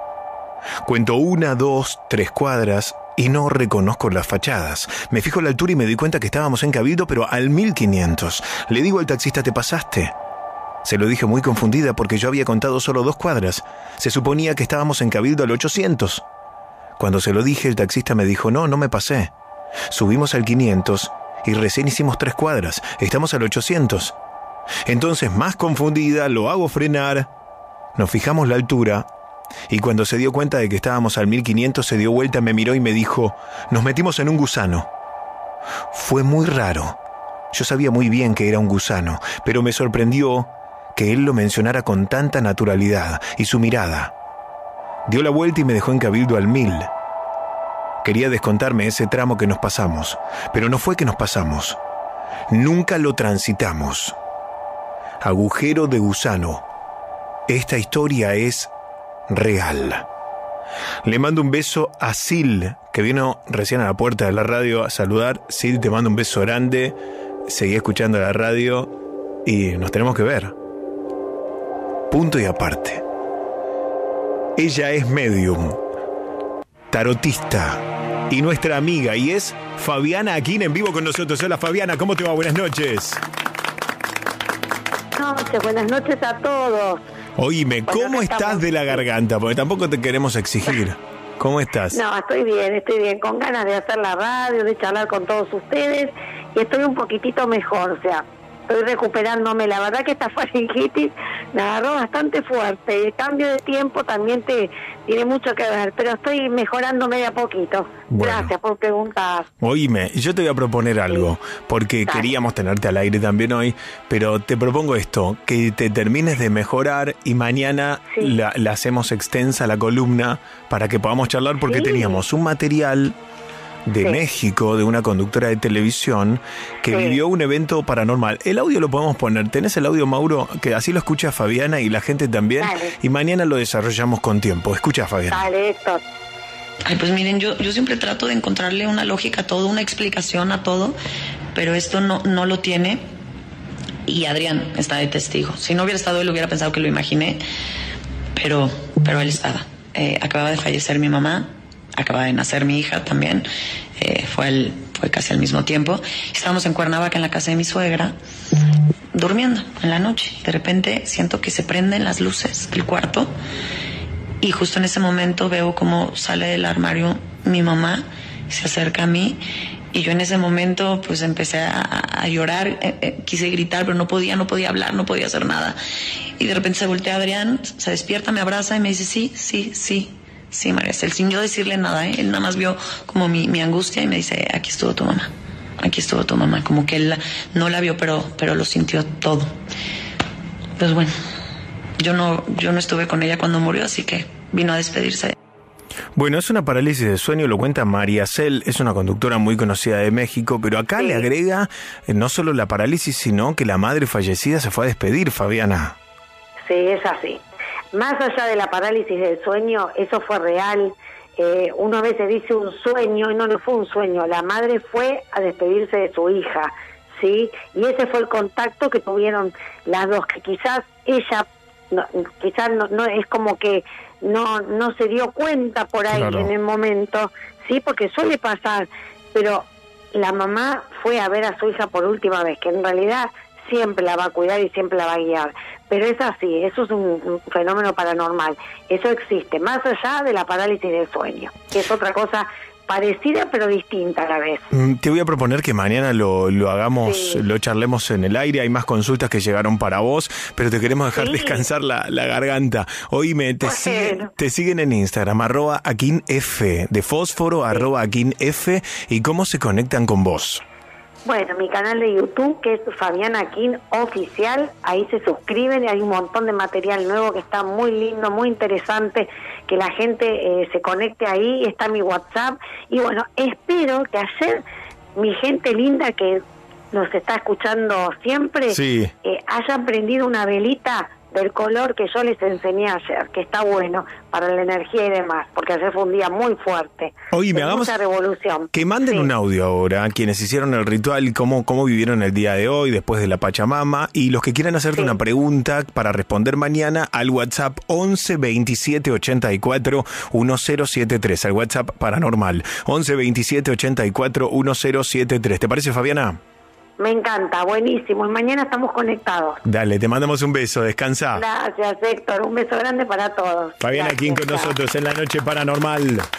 Gracias, porque esta semana comimos como siempre por Tomaso, gracias a Tomaso, pero además esta semana todas sus empanadas están a precio especial. Pagás 5 y te llevas 6 empanadas. Más de 60 locales ubicados en Amba, Pergamino, Neuquén, Rosario, Córdoba, Bariloche y San Juan. Entra a Instagram, arroba Tomaso Pizzas OK y haz el pedido por WhatsApp, arroba Tomaso Pizzas OK. Acá está la etiqueta en mi Instagram, este aplauso es para Tomaso.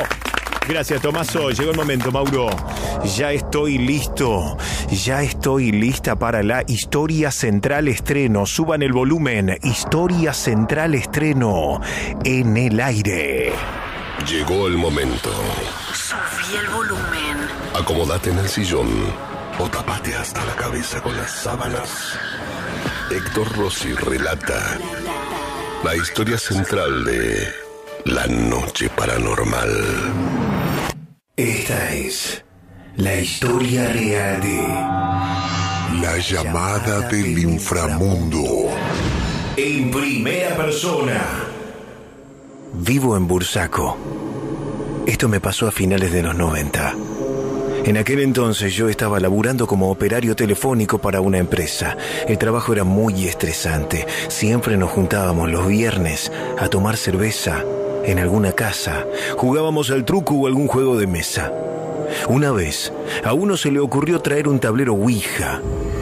La verdad que para nosotros era todo un chiste. Uno pateaba la mesa, otro fingía una voz siniestra. Me acuerdo que yo también quise hacer una broma. Tomé un teléfono a disco que estaba en una repisa, sin cables. Levanté el tubo y dije, aguarda en línea, todos los muertos están ocupados. Entonces, sin que yo me lo pudiese esperar, una voz vino del otro lado, rasposa, como de garganta de fumador. Daniel, ayúdame por favor.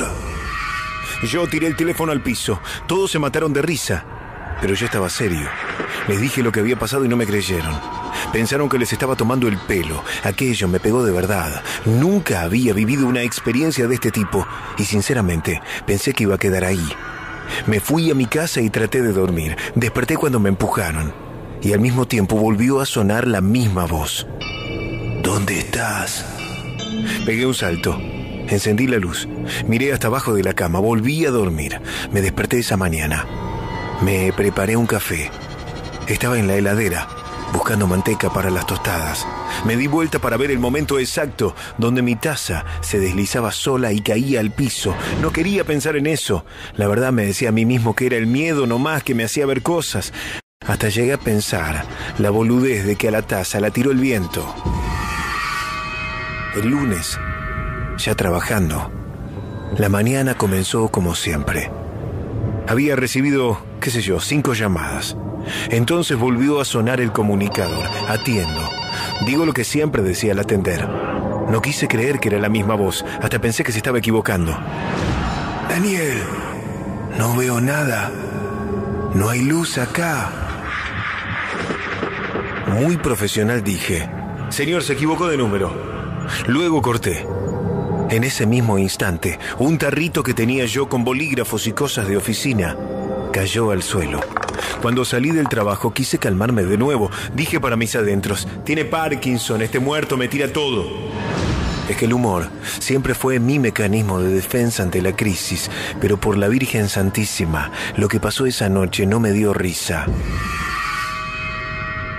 Me desperté al escuchar ruidos en mi casa. Alguien estaba dando vueltas, golpeaba las paredes, tosía y con voz decrépita decía, Daniel, dame las pastillas que me duele mucho. Imagínense cómo me puse. Me levanté, encendí todas las luces, hasta me puse a rezar. Mi amigo, el dueño de la casa donde jugamos a la Ouija, también me comentó que en su casa estaban pasando cosas raras, pero eran ruidos. Solo yo escuchaba la voz. Su casa la había comprado hacía algún tiempo, pero lo ayudé a averiguar algo sobre los dueños anteriores. Mamita querida, cuando nos enteramos, un vecino nos dijo, hace como 30 años vivían aquí un señor obeso y su padre, que había perdido ambas piernas por la diabetes. Daniel se llamaba el muchacho, se ve que el padre era bastante demandante. Todos los días escuchábamos llamarlo a los gritos. Un día dejamos de escucharlo. También venía un olor fétido de la casa. Entramos. En un cuarto, muerto por inanición, estaba el pobre viejo. Al fondo, colgado de un árbol, estaba su hijo. Eso explicaba algo del asunto, pero no todo. ¿Por qué me hinchaba las pelotas a mí el tipo muerto? Terminamos yendo a un curandero. Nos explicó que habíamos abierto un canal. Yo, sin saberlo, hice conexión con el viejo muerto. La casa fue limpiada, pero el tema es que a mí me siguieron pasando cosas. En el trabajo ya tenía miedo de atender las llamadas. Cada tanto, al otro lado de la línea, estaba el interlocutor espectral. Sonaba triste, confundido. Daniel, tengo hambre y frío. En mi casa también pasaba lo mismo. Me acuerdo que me compré uno de aquellos celulares que parecían un ladrillo. Un domingo estaba hablando con mi madre. De pronto, la comunicación se cortó. Las luces de mi casa comenzaron a prenderse y apagarse. Una silla se tumbó sola. Dejé el teléfono en la mesa. Me puse a juntar las cosas que se comenzaban a caer solas. Una bandeja, una pequeña maceta. Entonces mi teléfono volvió a sonar. Atendí. Era mi padre. Hijo, ¿qué pasó? Dijo tu madre que te pusiste a llorar a los gritos al otro lado del teléfono y cortaste. Tuve que mentirle. Le dije que estos aparatos confundían señales. Como escuché más de una vez, cuando uno tiene pegado a un muerto se siente. La cabeza me dolía todo el tiempo, me costaba conciliar el sueño. Otra vez, en plena madrugada, la puerta del ropero se abrió de par en par. Así en plena oscuridad, yo me senté en la cama.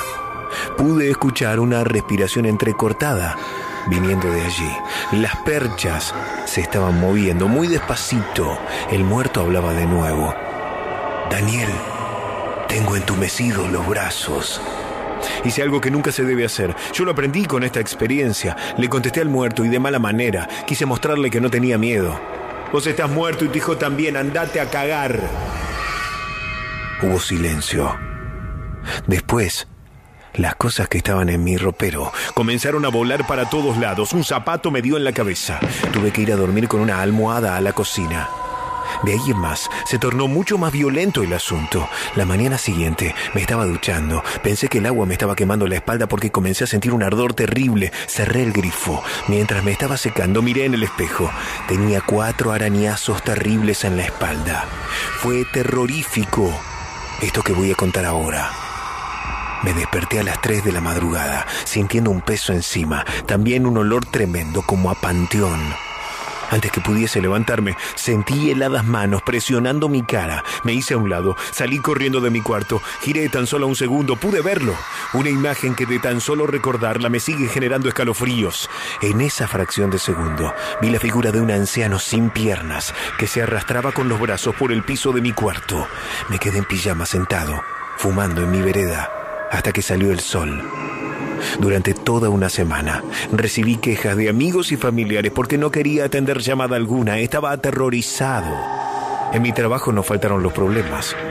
El supervisor notó mi nerviosismo a la hora de atender llamadas. No faltaba atender y que vuelva a ser ese muerto que ahora era muy malo. Una vez hasta me dijo, mal parido, te voy a matar a vos.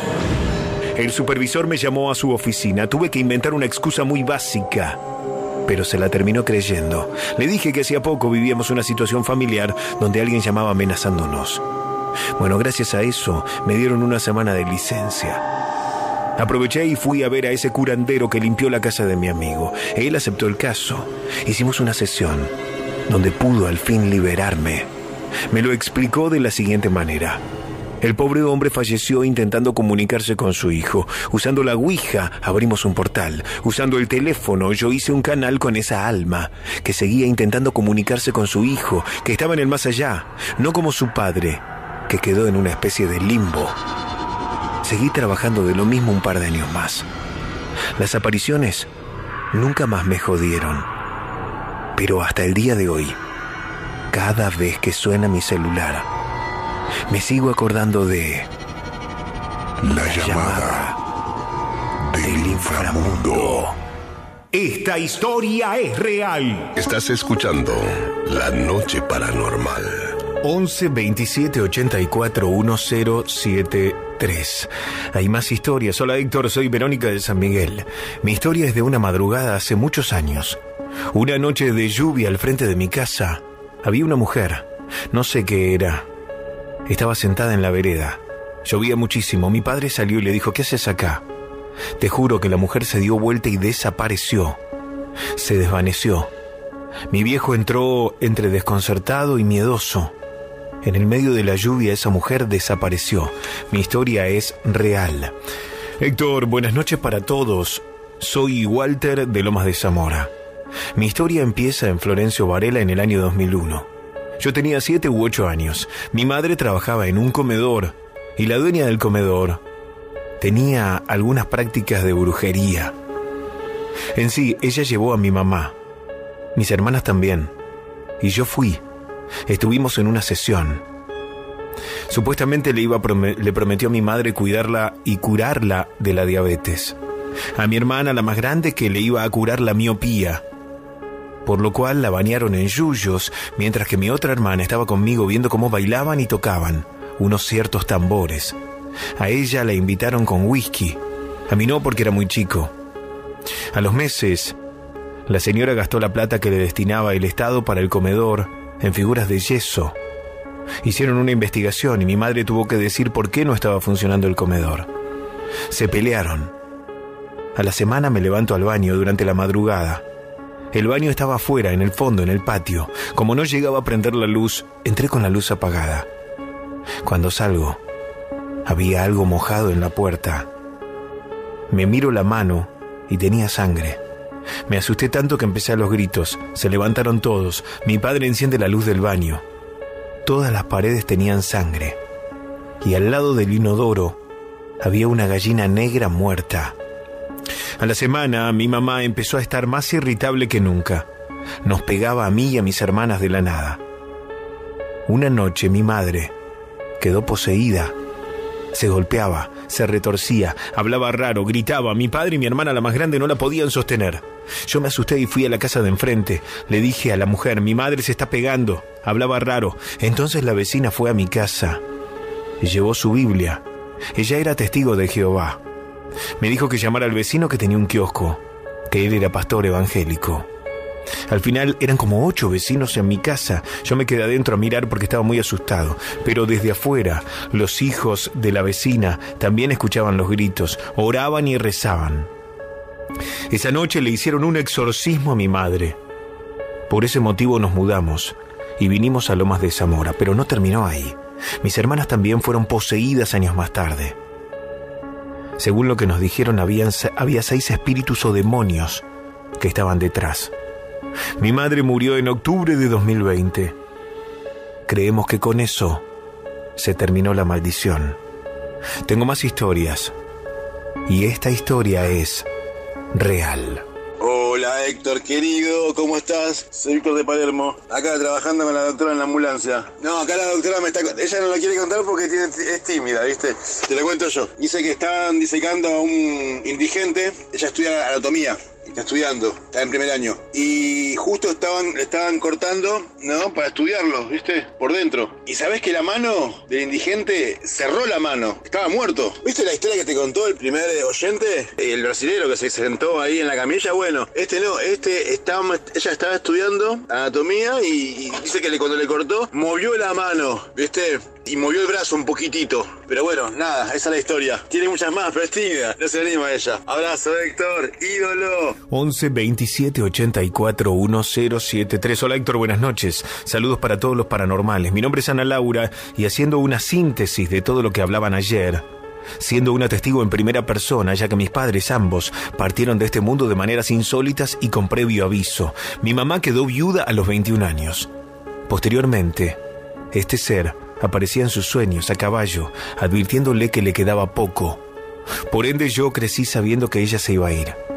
A sus 51 años se enfermó y en seis meses se fue de este plano.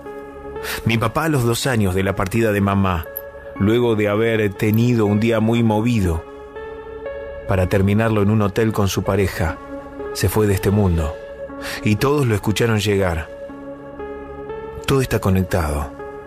Mi teoría es que venimos a aprender, y si uno falla y no atraviesa el karma o la misión, volvemos a intentar en otros escenarios hasta llegar a una sabiduría que nos eleve. Podría estar horas debatiendo estos temas, a los cuales les he dedicado muchas horas de estudio.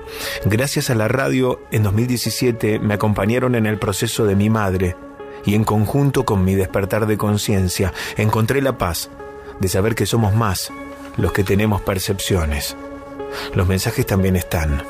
Hay que aprender a dejar el ego de lado y abrirnos al infinito tan mágico que nos rodea. Hola Héctor, estaba escuchando uno de tus programas, sí, por Spotify, y justo tocaste el tema de que si a alguien más le había pasado, como a otra chica, esto de que la realidad se le deforme, tipo algo así como la Matrix. Y bueno, y me acordé de que me pasó a mí, me voy de viaje, este año me fui de viaje a Tarija, entonces guardé mi lavarropas adentro del departamento, ¿no? Ya lo tenía hace bastante tiempo al lavarropas, cuando vuelvo de viaje, lo saco al lavarropas y cuando lo voy a utilizar, veo que es como que no era mi lavarropas, ¿no? O sea, si por fuera era todo mi lavarropas, pero por dentro no. Entonces, yo cuando me paro frente al lavarropas, yo veo la marca que me indica hasta dónde va el agua. Y cuando lo, me paraba ahora, no veía la marca de ese lado, la buscaba por toda esa parte y no estaba. Y resulta que la encuentro del otro lado. Entonces lo charlo con mi novio y le digo, che, boludo, mira, no, soy yo, estoy loca, no está acá la marca. Y él me dice, no, siempre estuvo del otro lado. Y así lo hablé con otras personas que, que conocen, en lavarropas y todo lo demás, y se ríen, me miran como si estuviera loca. Es como que todo el mundo me dice que no, que no es así como yo lo pensaba, pero te juro, Héctor, que para mí esa marca del agua estaba de ese lado y no del otro lado.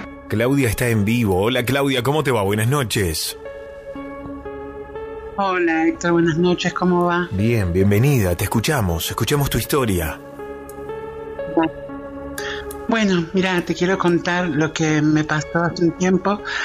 Eh, me emociona un poco al contarlo porque para mí fue fuerte. Eh, tuve la desgracia de perder a mi mamá. Y bueno, cuando ella falleció, al poco tiempo conozco a alguien, a una persona que yo creí que, que, que amaba, que creí que iba a ser feliz, pero no fue así. Después me enteré que, bueno, entre tantas mentiras y engaños, decidí terminar la historia. Eh, caí en un pozo depresivo, caí en un estado que realmente era malo. Eh, bueno, una noche a la cual de tantos días, de tantas noches que me la pasaba llorando y pensando, me, me, acuesto, me acuesto a dormir o intentar dormir y, y bueno, en esta noche me acuerdo que eh, había muchos, muchos mosquitos y prendo un espíritu como al lado de mi mesa de luz. Entonces, mientras lloraba y pensaba por qué me pasaba esto, decido hablar con mi madre y le digo, mamá, mamá, vos a tus hijos nunca quisiste que sufrieran nada, que nunca tuvieran nada malo. Entonces le dije, ¿por qué yo tengo que sufrir esta situación? Y en ese momento, de la nada, salta el espiral que estaba al lado mío, salta por el aire y cae en el piso. Y de repente es como que me cortó todo, me cortó el, el llanto y todo. Entonces muy despacio me, me, acuesto de, lado de posición fetal y, y te juro, me tapan con una frazada. Y escucho la voz de ella que me decía, no te preocupes, estoy acá para cuidarte. No lo podía creer, era, muy... ¿Pudiste escuchar su voz además del evento? ¿Pudiste escuchar la voz de ella que te decía, estoy acá para cuidarte? Sí. Estás muy emocionada y... creerlo, yo pensaba que era algo, no sé qué ¿Cuánto hacía que tu mamá estaba eh, fallecida? La presión que tenía. Pero después. Pero. ¿Cómo? ¿Cuánto tiempo había pasado de que tu mamá estaba fallecida? ¿Me escuchás? Hacía un año y medio. Eh, un año y medio. Es impresionante. Te quiero agradecer, Claudia, por tu historia y te mando un beso muy grande. Gracias por estar ahí con nosotros hoy.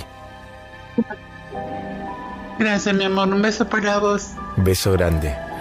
Bueno, la emoción que, que también hay que permitirse, ¿no? Me parece que la noche paranormal tiene algo lindo, que no es que hablamos de historias de fantasmas con el único objetivo de asustar, todo lo contrario. A ver, que nos dé un poco de miedo también está bueno, porque es la parte como entretenida de este programa.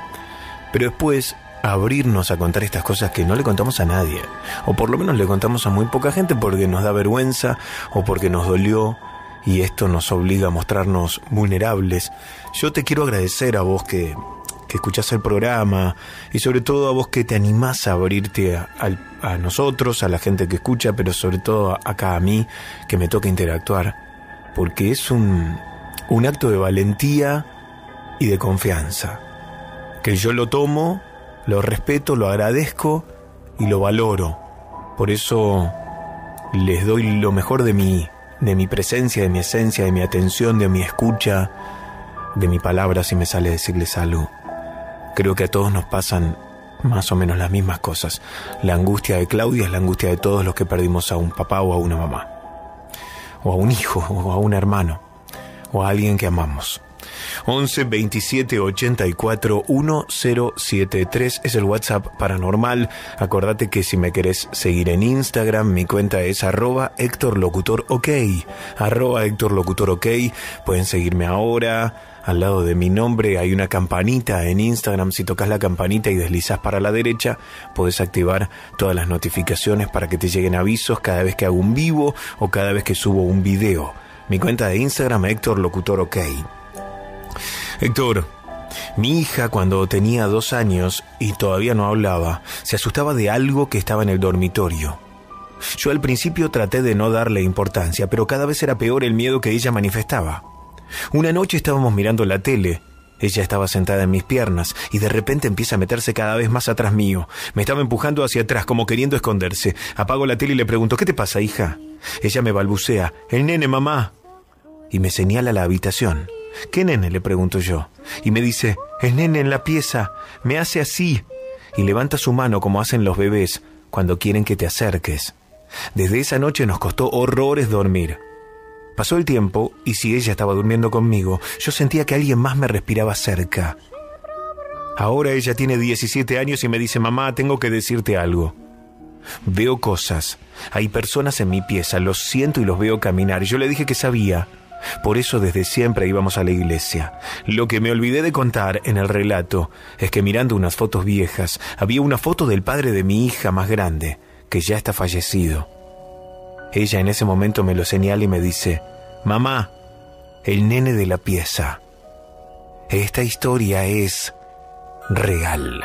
Buenas noches paranormales, mi nombre es Rubén, soy de Florencio Varela. Ya hace una semana no escuchaba la radio, tengo muchas historias y eh, nada, la última que me pasó, no la menos importante, sino que eh, la que más me impresionó fue que yo estaba hace una semana atrás, la última vez que llovió, estaba acá en el fondo de mi casa, en mi pieza, y empecé a, a sentir algo a mi izquierda, sobre arriba de la ventana. Solo estaba, los hijos estaban adelante. Bueno, lo ignoré, aunque ya me pasaron cosas, pero no, o sea, esto es la primera vez que lo hago de contarlo así públicos porque conocí la radio pero no, no la tenía, o sea, la wiki hace poco. Bueno, ignoré esa primera vez que vi algo y ya después para mi, para mi derecha de la cama veo dos veces lo mismo, una luz, una luz, dos veces la misma luz que me pasó justo cuando estaba escuchando la radio en el momento que, que siempre pasa y me dicen en este momento pueden ocurrir cosas. Bueno, nada, me pareció, me asusté y me fui corriendo, me fui corriendo de, de mi pieza para adelante donde estaba mi mamá y mis hijos, su señora pero me asusté, la verdad que me asusté mucho, me pasaron cosas peores, pero al estar solo y estar escuchando la radio y me, me choqué un poco y no los escuché durante una semana, pero sí me volví a escucharlo. Excelente la radio. Voy con Víctor, que está en vivo con nosotros. Víctor, ¿cómo te va? Buenas noches. Hola, ¿qué tal? Eh, buenas noches, ¿qué tal? ¿Todo bien aquí? Bueno, bienvenido. Este, te escuchamos. Sí, bien. Bueno, a ver, yo soy de Tucumán, eh, vivo en la capital, en San Miguel de Tucumán, soy viajante. Eh, bueno, he andado por muchos lugares, ando todo el NOA, sea, Salta, Catamarca, Jujuy, en fin. El tema es que eh, hace como dos años atrás, aproximadamente un año más o menos, aproximadamente atrás, eh, fui a Joaquín B. González, volví de Joaquín B. González a las doce y media de la noche, y resulta que yo tenía que entregar un pedido, yo tengo una distribuidora de repuesto de moto, tenía que entregar un pedido a un cliente y ya se me hizo tarde, entonces en Joaquín B. González yo le aviso a mi cliente que iba a ir demorado. De Joaquín B. González todo tenía que ir aproximadamente hay este, una hora de viaje. Eh, la cuestión, eh, para resumir, fue que llegué en media hora. Y era como un problema de tiempo y espacio, no coincidía eh, lo que me pasó. A ver, yo te, es como que yo le digo a ustedes que tengo que estar, no sé, media hora a juntarte con alguien porque vos sabés que va a calcular ese tiempo y resulta que estás en 15 minutos. Claro. Yo hay 15 minutos que me perdí, bueno, lo, ejemplifico así, pero en realidad hay media hora de mi vida que yo no sé qué pasó. Claro. Y fuimos dos. O sea, los dos vivieron la misma experiencia. Para los dos pasó lo mismo, que no entienden cómo llegaron de un punto a otro en tan poco tiempo. Eh, claro, llegamos en media hora a un lugar que teníamos que haber llegado en una hora y no pasamos por un pueblo que se llama Igual hay un video en YouTube donde me hacen una entrevista, bueno, después te... Si Ey, Sí, pásamelo, me interesa, Víctor. Lo que vos viviste es una brecha en el espacio-tiempo, hay un recorte del tiempo porque no es que estamos hablando de que fuiste al doble de la velocidad, porque uno puede explicarlo así también. Fuiste más rápido, no. O sea, vos eh, te trasladaron de un punto a otro y no tenés registro de tu memoria y tampoco tu acompañante. Estamos hablando de una abducción. Eh, claro, la verdad que no sé qué, no sé si decir abducción, porque la verdad que no sé qué me pasó. Pero no, bueno, pero qué me pasó. yo a ver, yo parto de la base que te creo, ¿eh? creo tu relato y a partir de acá te doy hipótesis, porque lo que estamos haciendo es especular, pero la gente puede opinar también. Una abducción no siempre es con recuerdos, no siempre el abducido recuerda qué pasó en ese tiempo. Tal vez Vamos a, a- a llevar la hipótesis de una abducción extraterrestre. Te tomaron en la ruta, los tomaron y los devolvieron, pero todo lo que pasó en ese tiempo, que el tiempo percibido por los seres humanos en la Tierra no es igual quizá en otra dimensión. Entonces digo, vos no tenés memoria, pero tal vez sí fuiste raptado ese, ese tiempo, ¿no? Eh, eh, Claro, no- Héctor, no- mira, te, te no- agrego algo. Sí. Eh, te agrego algo. Eh, acá la cuestión es que, como te dije, soy viajante y pasó un par de cosas, pero este fue lo más, lo más loco de todo. Éramos dos, el Claro. socio y yo, o sea, no es que, viste, por ahí uno viene cansado, decís, bueno, a ver, qué sé yo, eh, no sé, eh, venís concentrado, veníamos conversando, no, acá el tema es que la camioneta hizo el recorrido, los kilómetros que debe ser, este, llegué al destino que tenía que llegar. El problema fue que llegué media hora antes. Es como que es imposible que lo haga los 75 kilómetros que tenía que hacerlo en media hora porque es una ruta los que conocen el norte, no sé si alguien está escuchando sabe, que no estoy mintiendo, es una ruta que es imposible hacer 75 kilómetros en media hora por el estado de la ruta. Claro. El monte no tiene señalización, está, tiene agujero por todos lados. Y sí o sí tenía que pasar por el túnel. Y nunca lo pasé al túnel. Y para llegar al túnel hay varios indicios. Eh, está el, el río Bermejo, eh, perdón, el río Juramento, perdón, disculpen, el río Juramento es un río muy ancho, o sea, es imposible no verlo, hay una vía, nada de eso pasamos. Cuando veo la luz, eh, porque cuando uno está en el campo en la noche, ve una ciudad, un pueblo, ve la luz, refleja, se ve arriba del cielo. Digo, bueno, listo, ya estamos llegando. Ya le aviso a mi cliente y resulta que no coincidía la hora, no entendía nada. Cuando llegamos nos damos con que era el galpón, no el túnel. O sea, nos salteamos el nunca pasamos por ahí. Y eso fue lo más loco de todo. No sos el primer caso que yo escucho de alguien que me lo cuenta y otros que me que lo leí porque hay casos también googleé en esto hay un caso de unos pilotos que, que su- sufrieron la brecha esta en el espacio de tiempo que fueron quitados de un lugar y no recuerdan cómo llegaron a otro punto acá lo diferente en tu historia es que el kilometraje de tu auto sí recorrió los kilómetros ¿no? Exacto, coincidió todo. Acá fue el- media hora de mi vida con, con mi compañero, con mi socio. No sabemos qué pasó. Porque es como que nos, robaron media hora. claro claro Porque que, eh, no nosotros, sabemos. nosotros lo O, percibimos o nos adelantaron media hora, perdón. Claro, nos adelantaron media hora. Exacto, es como, como volver al futuro, ¿no? Porque tal vez, no sé, voy a armar una hipótesis. Supongamos que a vos te faltó media hora de tu registro de percepción y a tu compañero, pero el auto recorrió esa cantidad de kilómetros. Ustedes eh, no estuvieron conscientes, quiero decir, tal vez fueron ustedes los que fueron quitados y devueltos, por eso se falta la media hora. Es lo mismo que en la película Volver al Futuro cuando mandan al perro al pasado. El perro no registra el cambio, el, el- viaje en el tiempo. Para él mm, fue un, de- todo pegadito, no hay, no hay esa media hora que a vos te falta, que tal vez el vehículo recorrió los kilómetros, pero vos no estabas en tu cuerpo. Porque ¿quién, quién Héctor, dijo, ¿quién eh, dijo que la, mira, la- Héctor. la abducción no necesariamente tiene que ser material. La material no, no es que tu cuerpo, tal vez tu cuerpo siguió en piloto automático y tu conciencia fue abducida. Héctor, sabes que es muy desesperante. en- ojalá que no le pase a nadie porque mucha gente no te cree. Pero más vale. vos- Pero, pero una cosa que vos cuentes esto en un sanatorio mental, eh, donde vos sos un interno, donde, bueno, ponele que puede ser que estés alucinando, pero vos estuviste en la carretera, en la ruta, vos te dedicas a esto. Somos, éramos dos personas, porque por ahí, a ver, yo te digo, uno como viajante a veces viene cansado Claro. y la verdad que por ahí también como que la mente empieza ya a jugar de otra forma, pero Sí. éramos dos personas. Eh, el gas del vehículo se consumió como que, bueno, no, o sea, hicimos los 75 kilómetros reales. O sea, invito a la gente y a vos, Héctor, si querés, hay un video en YouTube que me Sí. hicieron una entrevista porque eh, mi relato fue así como lo estoy contando ahora. ¿Cómo lo Eh, buscamos? se van a dar cuenta que, que, a ver, eh, problema de tiempo, espacio, figura, eh, o si no, Víctor Liciardi me llamo yo, eh, Víctor Liciardi con dos C, Ujú. eh, pongan en YouTube, yo tengo otros videos, bueno, porque tengo otros problemas, pero eh, un problema, yo tengo vitiligo, Sí. pero hice video de eso, pero no, en realidad este es de, de problema de tiempo y espacio. Bueno, por hoy me, me gustaría em, entrevistarte además de acá en la radio eh, por tele, en mi programa de tele por Skype o por Zoom. ¿Me mandas tu contacto por privado en TikTok? ¿Me pasas tu teléfono que te quiero llamar después? Eh, bueno, soy nuevo en este tema de TikTok eh, hace una semana, que ¿cómo hago para mandarte un mensaje? Cuando, cuando ahora Entonces, co- cuando sí. cortes ahora este enlace, te aparece mi, mi perfil y enviar mensaje. Te va a aparecer la opción. Mándamelo que yo después lo miro tranquilo. Bueno. Eh, te mando Bueno, un abrazo grande. Gracias, Víctor. Una cosita, una cosita antes Sí. de cortar. Eh, mucha gente no quiere hablar. Eh, yo eso he notado porque eh, por miedo a las burlas, por miedo a la, que la gente no te cree, solamente cuando a uno le pasa, este, toma conciencia de que a veces es bueno, porque yo sé que hay mucha gente que le pasó cosas y que tal vez uno hablando, hay otra gente que se anima. Solamente eso, para que estén escuchando, que sirva mi relato más que nada para contar su, su historia, porque a veces uno no está loco, ¿no? No es como le hacen creer a uno. Es eso nada más. Seguro. Gracias, tu querido.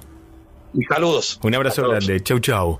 Genera mucho debate y me encantaría escucharlos a ustedes. Abro el WhatsApp para opinar sobre las brechas espacio-tiempo. 11 27 84 1073, el WhatsApp paranormal. Por favor, ya mismo pueden mandarme un audio. 11 27 84 1073 desde cualquier lugar del país y contarme tus historias también o del mundo. Porque este programa y todos los programas de la noche paranormal yo los subo a mi canal de YouTube arroba trasnoche paranormal. Pueden suscribirse ahora gratis a mi canal de YouTube arroba trasnoche paranormal y haces maratón de los programas completos, maratón de las historias centrales. Mi canal de YouTube arroba trasnoche paranormal. Acordate que mañana jueves es la última noche para nosotros paranormal porque viernes no estamos y sábado tampoco. Volvemos el domingo, ¿eh? Este es mi cuarto programa ya. Hice domingo, lunes, martes, miércoles. Mañana es como mi viernes. Mañana jueves es mi viernes. Viernes y sábado descansamos, pero el domingo volvemos en vivo a la pop. Hay más historias. Hola chicos, buenas noches, ¿cómo están? Primero felicitarlos, hacen un programa genial, no puedo dejar de, de recomendarlo. Desde que los encontré por casualidad, estoy prendida mientras puedo, porque a veces, bueno, hay que tener un poco de coraje para, para escuchar algunas historias, pero nada, son geniales. Tengo muchas historias para contar, pero una que me sucedió hace un tiempo, yo estaba pasando por algunas situaciones personales malas, decidí acudir a una persona que cura para, bueno, para que las cosas mejoraran. Y a los pocos días tengo una situación que estaba descansando y siento como que alguien se posa detrás de mí, como que me tapa la boca, como que, como que me acorrala contra la cama y como que sentí como si hubiese abusado. Es muy loco lo que estoy contando, lo sé. Yo después obviamente me desperté y me di cuenta que eso no, pero yo sentí que eso pasó y yo lo vinculo a esta, a esta persona que me estaba curando. No sé si fue, no sé si tiene, me estuve leyendo un poco y vi como que eso tiene un nombre, pero yo lo viví como algo que sucedió. Claramente puedo saber que no, pero la sensación fue totalmente real, espantosa. No se la deseo a nadie. Les mando un beso, es fabuloso el programa. Hola Héctor, ¿qué tal? Buenas noches, ¿cómo estás? Bueno, nada más es para comentarte que por primera vez en mi vida tomé la, tomé un poquito de caña con, con ruda. Mira, no sé, eh, me fue todo para la mona en el día de hoy. Este, bueno, para la mona no, perdón, todo mal, quiero decir. Este, ya vengo con una racha. El domingo hacía muchísimo que no iba a Lourdes, voy a Lourdes, me caí, me lastimé. Agradezco que no me quebré, pero todo así. Y hoy me reía sola, digo, menos mal que tomé la ruda con, con, con, la caña, pero no, todo mal. No sé si son rachas, también es que estoy próxima a mi cumpleaños y esto es para las eras. Dicen que unos días antes pasan, antes del cumpleaños pasan cosas y después también. Debe ser eso, no sé. Bueno, un saludo, Héctor. Todas las noches los escucho. Pero te digo que tengo una, una cosa muy fea en la casa. Puse una copa con agua por, por poner, lleno de burbujas todos los días. Por Dios, tengo que hacer un exorcismo en mi casa. Bueno, chao, un saludo para todos. Gracias por la compañía que me dan.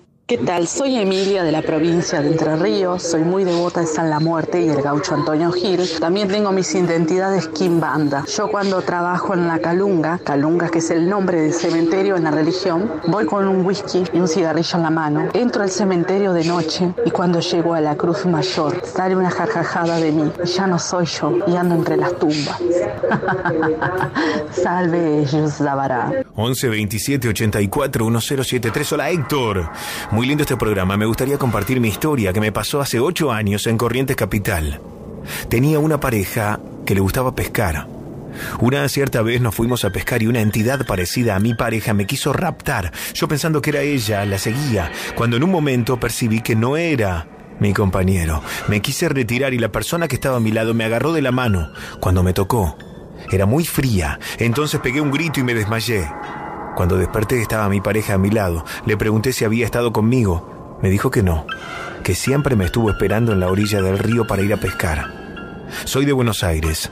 Esta historia es real. Hola, mi nombre es Marcela. Quiero contar un episodio que le pasó a mi hija cuando tenía 10 años y la habían operado del corazón. Mi hija, que hoy tiene 25 años, la operaron cuando tenía 10 años del corazón. La operación salió todo bien, fue todo satisfactorio, pero en su posoperatorio entró una bacteria en el cuerpo y esto hizo que ella estuviera grave. La ingresan a terapia, estuvo bastante mal, la inducen a un coma farmacológico para que ella su corazón se pueda restablecer mejor y como a los dos días me llaman la doctora para que la vea porque no nos dejaban entrar porque al estar en terapia podías entrar nada más unos minutitos para verla y salir enseguida. Me llama la doctora, me dice que no podían creer que ella hubiera mejorado tan rápido y me dice pasa a verla que ella te está esperando. Paso, entro a verla, la veo sentada en la cama y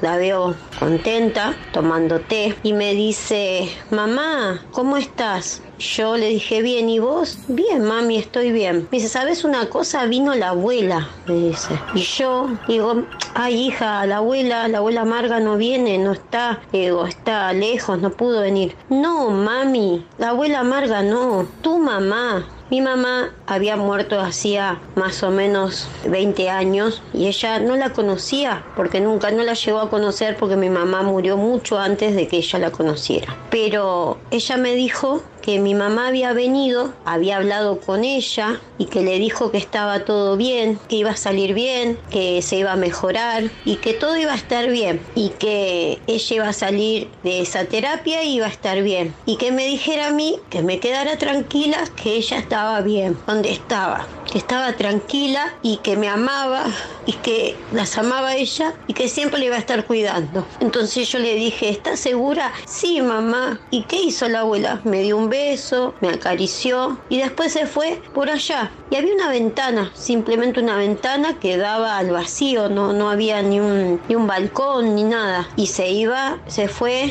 me fui yo y qué sé yo, por intuición me fijé. O sea, había una ventana cerrada, esto era en el Hospital Posadas de Villa Sarmiento y el gran Hospital Posadas y, y ella me contaba eso.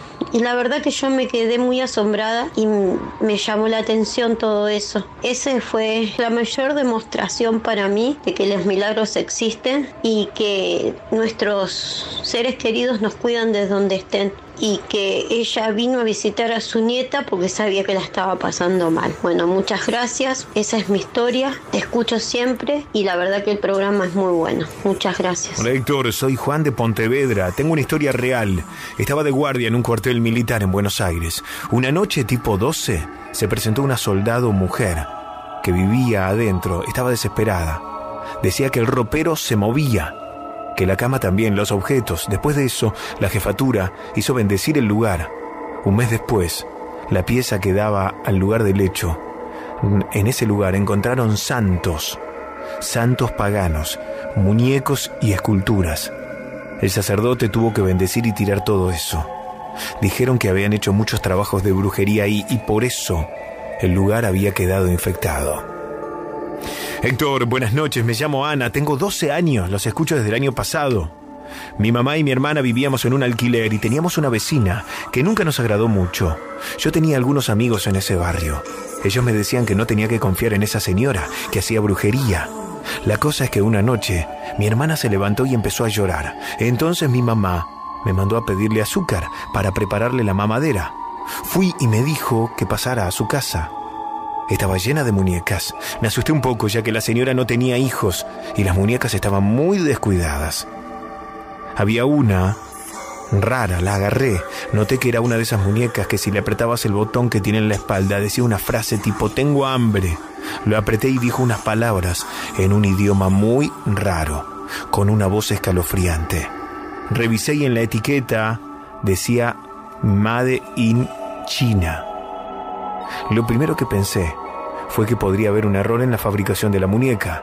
Me di media vuelta y vi que mi vecina me estaba mirando. Me sonreí y me preguntó si me gustaba. Yo le dije que sí. Me la quería regalar.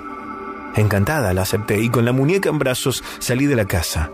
Cuando estaba a mitad de camino, tuve escalofríos, me sentí rara, pero me di cuenta que me había olvidado la taza.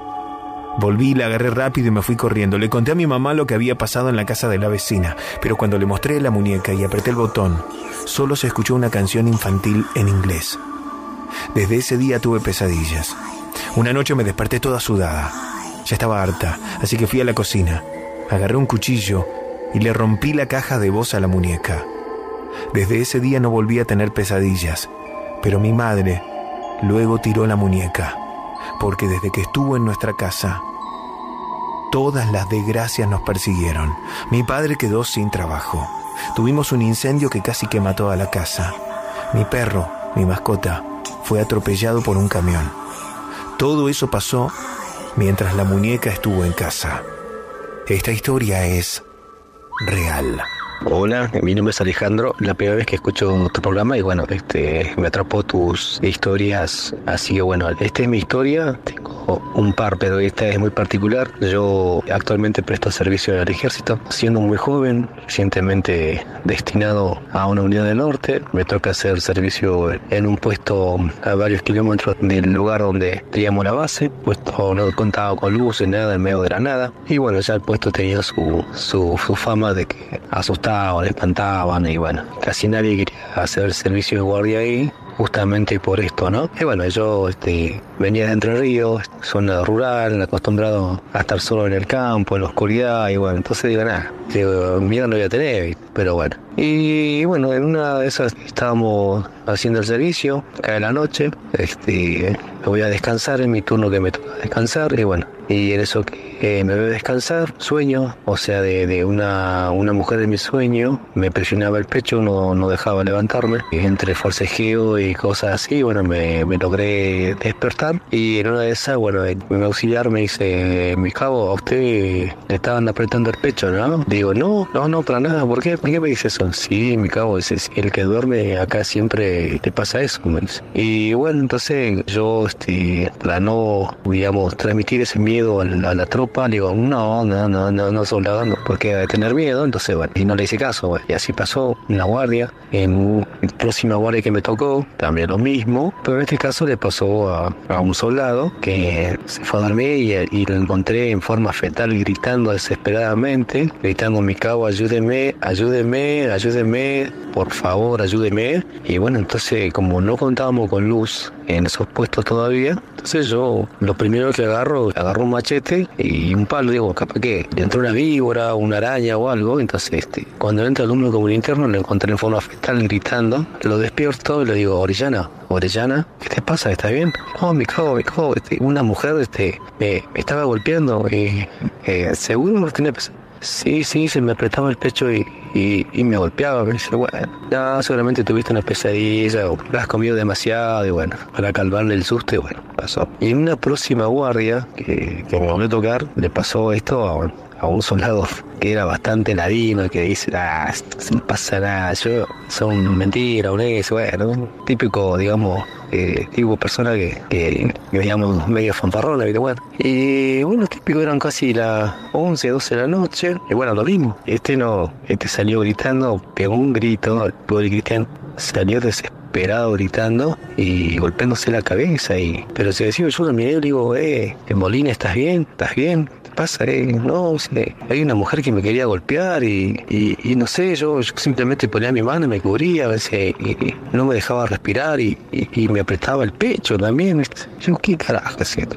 Me puse a, leer un poco de la mitología, de las cosas, y bueno, de, hablando y hablando entre uno y otro, me dijeron, no, ese es un demonio que se alimenta, no sé qué, del, de los sueños o algo así, me dijeron. Y, bueno, cuando yo en, en las guardias no dormía, sinceramente no dormía justamente por eso y prefería desvelarme toda la noche y, y en una de esas noches de cansancio me duermo y bueno, y en mi sueño logro afrontar a, a esta persona que siempre oprimía la, la, las cosas, ¿no? Y bueno, y me cuenta su sueño que buscaba una persona que hace años se había extraviado y bueno, y en mi sueño le decía que por favor se retire, si no íbamos a tener problemas con esta persona y bueno, y bueno, se fue, se fue y bueno, desde el día ese entonces nunca más volvió a tener un sueño o un evento así, ¿no? Ese solo. Hola, ¿cómo andas, Héctor? Un saludo para vos, para Mona y para todos los que están ahí. Mira, ¿sabes qué? Me acaba de pasar algo rarísimo. Yo soy un argentino junior, salimos recién de la cancha, compramos dos latas de cerveza y hablé con mi novia que le pasaron cosas y tiene, es tímida y no las quiere contar, ¿entendés? Pero ahora dije, al cementerio de Chacarita. Estoy parado por el costado donde está el panteón Te venía escuchándolo más bien. Paro acá y te escucho, mira. Te escucho con interferencia. No sé qué onda, si tiene algo que ver o no, pero bueno. Venía escuchándote re bien. Paro acá y es interferencia lo que escucho. Muchas gracias, buenas noches. Contanos tu historia paranormal en vivo. Llamando al 11 27 84 1073. Grabala en audio y envíala por WhatsApp al 11 27 84 1073. Una historia tras de otra. Un relato más escalofriante que el anterior. Este es tu ritual radiofónico de todas las noches. Hasta la medianoche. Escuchas La Noche Paranormal. Estás escuchando La Trasnoche Paranormal. La trasnoche paranormal. En el canal de YouTube de Héctor Rossi. La trasnoche paranormal. Ayuda mucho para el algoritmo que des un like a este video, lo compartas y dejes un comentario. Si no lo haces,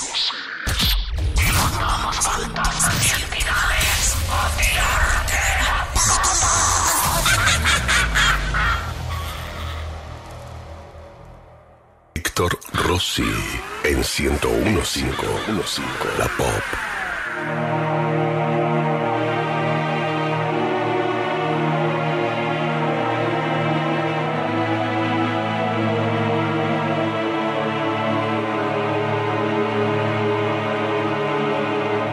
En sí, bueno, eso fue lo que me pasó, ¿no? Pero bueno, en realidad otra cosa que a mí me pasó muy particular, que, que hasta el día de hoy eh, sigo pensando, bueno, ese mismo puesto que te contaba anteriormente, yo, como te decía, yo no dormía, me quedaba despierto para no pasar justamente por sueño. Y entre esos sueños, bueno, me quedé en vigilancia, cuidando, y veo que en la puerta, eh, teníamos una puerta que era este, una mampara, digamos, que tenían un, un metro, un metro veinte más o menos de, de pared, y el resto era todo vidriado, entonces entre la oscuridad yo veía que, eh, no sé si un animalito, un porrito se asomaba y levantaba la cabeza, y yo digo, bueno, debe ser un perro, un zorro, o no sé, para hacer una liebre era muy, muy grande, y para hacer un zorro, bien era grande, digo, y, y la manera en que se movía era muy extraña. Y bueno, intentó este, ingresar al puesto, pichó y bueno, yo con el arma cargada, eh, digo, ingresa y le bajo el cargador, decía yo, dentro mío. Y bueno, esperé, me mantuve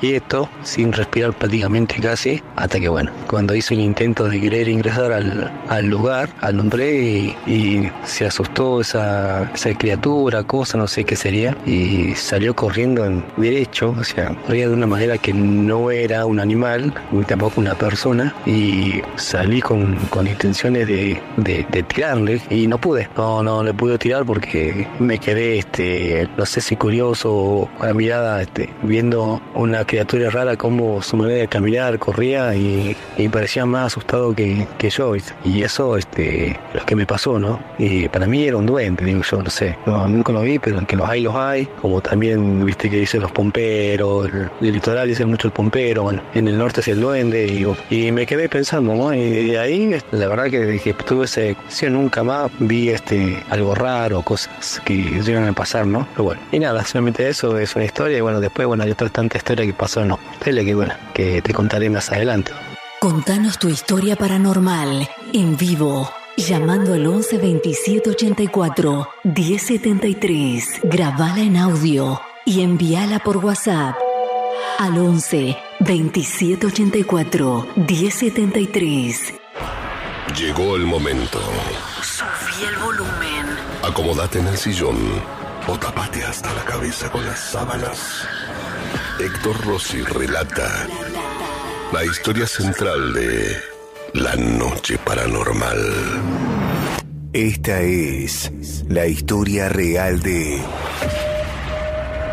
El dueño de casa. En primera persona. Mi familia y yo nos mudamos a una casa en Aedo. Mi esposo la había adquirido muy barata, ya que estaba aún en obra, y se dedicó durante un tiempo a terminar de acondicionarla para poder mudarnos. Sin embargo, desde que comenzamos a ir a la propiedad, empecé a sentir que algo no estaba bien. Me sentía agobiada por algo que no sabía explicar, y en todo momento que estuve ahí, una opresión en mi pecho se hacía presente, tanto que me llegó a lastimar.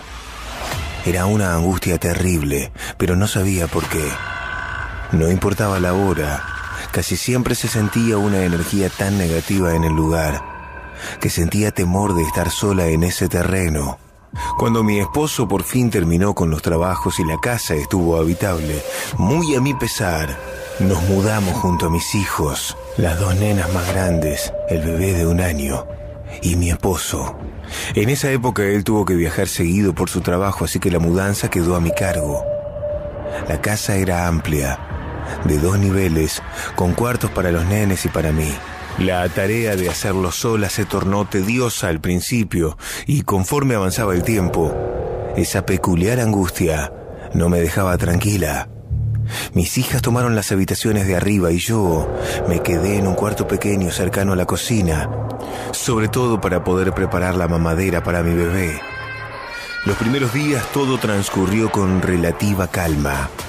Nos fuimos acostumbrando a la inusual tranquilidad que ofrecía la casa nueva. Pero una noche comenzó lo extraño. Veíamos la televisión en la sala de la casa Estábamos absortas mis niñas y yo. En tanto le daba de comer al bebé. De pronto, escuchamos unos ruiditos que venían de la cocina. Nos dimos vuelta todas al mismo tiempo para identificar el sonido electrónico que se escuchaba y enseguida supimos que un detector de movimiento que había puesto en la heladera para escucharlo en caso de que el bebé anduviera por ahí se había activado. El sensor de movimiento emitía un sonido cuando alguien pasaba por allí, pero parecía que el aparato estaba descompuesto, ya que repetía una y otra vez el sonido. Aquello terminó por fastidiarme y me paré a quitarle las pilas del aparato. Al hacerlo, lo puse sobre la mesa y regresé a ver televisión. Las niñas se preocuparon un poco por ese detalle y solo les pude decir que habían sido quizá las moscas las que habían activado el sensor. Aunque yo me preocupé, y más al notar que antes de salir de la cocina, el aparato a mis espaldas sonó una vez más. Fueron noches muy pesadas para mí. El bebé comenzó a despertarse por la madrugada entre 2 y 30 y 3 a.m. Algo le espantaba el sueño y me llamaba diciendo que quería jugar. Yo sin sueño me levantaba y me ponía a jugar con él hasta que nos dormíamos. Pero esa maldita sensación de que algo estaba con nosotros no me dejaba dormir. Ese estrés hacía que no me pudiera dormir y el niño tampoco, así que nos desvelábamos viendo televisión hasta las 6 a.m., momento en que me paraba para atender a las niñas y que se fueran a la escuela. Así estuve como por tres semanas sin hallarle una explicación. Todas las noches, la misma rutina. Hasta una madrugada que veía la televisión en el living. Estaba tirada en el sillón hipnotizada por el brillo de la pantalla. Con el control, cambiaba de canal una y otra vez, sin ver nada. Y mis ojos empezaron a pesar mucho, pero no podía dormir. Tenía un pie en el portabebé meciendo al niño y el otro metido en una vieja sábana. Mis brazos estaban entumecidos y la tensión entre el cuello y hombros era tal que no podía ni siquiera moverme. Mientras cambiaba de canal, algo llamó mi atención en el exterior. En la sala, había un gran ventanal que daba a un patio trasero en el que mi esposo había levantado un asador de ladrillos y dentro de la chimenea había colocado un foco. Y este se prendió de la nada y ante mis ojos. Luego volvió a apagarse. Me concentré en la parrilla y de nuevo El foco se encendió. Me tensé, pensando que quizá alguien se había metido y había encendido el foco, pero no veía a nadie en la oscuridad. No quise saber más. Tomé al niño y me dirigí a mi habitación esperando que amaneciera un poco. Serían las seis de la mañana cuando me volví a asomar y el foco aún estaba encendido. Me quedé viéndolo unos segundos y se apagó. Esa misma tarde regresó mi esposo de trabajar. Le comenté lo del foco. Él me miró extrañado y me dijo, es imposible. Ese foco está fundido desde hace mucho. Al ir a revisar, quitó el foco y al mostrármelo, en efecto, estaba lleno de hollín y grasa. No supe qué decir. Lo atribuí al cansancio extremo que tenía. No quise pensar más en el incidente. Llegó la noche y con ella de nuevo la sensación de ansiedad y estrés que poco a poco empezaba a desquiciarme. El niño otra vez se despertó 3 a.m. y yo, arrastrando los pies, lo cargué y lo llevé a la sala para encender de nuevo la televisión. Cambiando los canales, se produjo un letargo profundo y a pesar de tener mis ojos abiertos, mi mente estaba bloqueada. Escuchaba los ruidos de la noche y hasta el sonido de la heladera que arrancaba y cortaba. Apenas iba entrándome el sueño y el niño seguía hipnotizado por los dibujitos. Cuando escuchó un ruido, algo se rompió en pedazos y luego el llanto del bebé asustado. Al volver en mí, lo primero que vi fue el sensor de movimiento despedazado tirado en el medio del living. Algo o alguien lo había arrancado de la cocina y lo había revoleado. Yo estaba atónita y el temor me entró. Intentaba calmar al niño y la desesperación hizo que saliera de la casa para poder tomar un poco de aire. Todo aquello estaba quebrando mi espíritu lentamente, llevando mi mente a límites insospechados, a los que me hundí, sin saber qué era toda aquella locura silenciosa que estaba ocurriendo. No sé cuánto tiempo estuve ahí intentando calmarme, pero llegó el alba y con ella la hora de la escuela. Mientras preparaba el desayuno, mi hija Paola y el bebé comían cereal y Natalia, la mayor, terminó de peinarse y se quedó viendo a su hermana con sorpresa. ¿Qué pasó? Preguntó una de mis hijas con rostro extrañado. Es que te acabo de ver arriba. Saliste del baño y te metiste a tu cuarto a vestirte. Te dije que era tarde. Te quedaste parada sin decirme nada viendo la ropa. Mencionó mi hija Natalia. Todas nos miramos con rostro de angustia e intuimos que algo no andaba bien. Le dije a mi hija que su hermana tenía rato ahí desayunando y ella, sin comprender qué sucedía, sintió temor y me abrazó algo tensa. Le dije que ya no durmieran arriba por un tiempo. Ellas no querían dormirse conmigo, así que quedamos en dormir en la sala. En tanto resolvíamos esa situación que ya empezaba a tener tintes sobrenaturales. La tensión iba en aumento cada madrugada.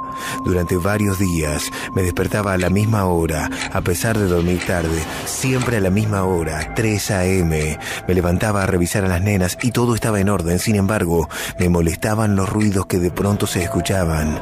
Crujir de paredes, rasguños y otras cosas que no puedo identificar.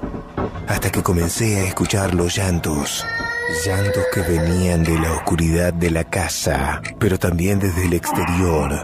Sin saber de dónde provenían, miraba el techo y por la mañana le preguntaba a mis hijas si alguna de ellas había llorado. Se miraban entre sí y dijeron que pensaban que era yo la que lloraba. Nos sentimos temerosas y acordamos que dormiríamos juntas en la habitación a partir de esa noche. Pero siguió. La madrugada siguiente todas escuchábamos llantos de niña, pero además pasos en el patio. Algo movía la parrilla, la subía y la bajaba. Con pasos lentos de un lado al otro iban y venían, también en los techos. Luego se detenían y se escuchaba una niña llorando. Así estuvimos como por seis meses, viviendo en la zozobra. A pesar de decirle a mi esposo, él no quería irse de ahí. Además no teníamos a dónde irnos. Las únicas veces que descansábamos de ese infierno eran los fines de semana, que regresábamos a nuestro antiguo barrio, a la casa de mi hermana, pero durante la semana teníamos que permanecer ahí. Fue durante un fin de semana y antes de irnos a casa de mi hermana que preparaba las cosas del bebé. y vi a mi hija Paola bajando las escaleras de madera, pálida y llorando. Temblaba. Yo, angustiada, le pregunté qué le había pasado y ella, con una voz entrecortada, me dijo... Es cierto lo que dice Nat. En la casa hay una niña. Cuando estaba guardando mi ropa vi su reflejo en el cristal de la ventana. Estaba asomada por el marco de la puerta. Está descarnada. No tiene ojos. Tiene cuencas vacías y la sonrisa de la muerte en vez de labios. Me dio mucho miedo, me paralicé de miedo. Estuvo mucho rato ahí hasta que dejó de asomarse y atravesó el pasillo como si nada.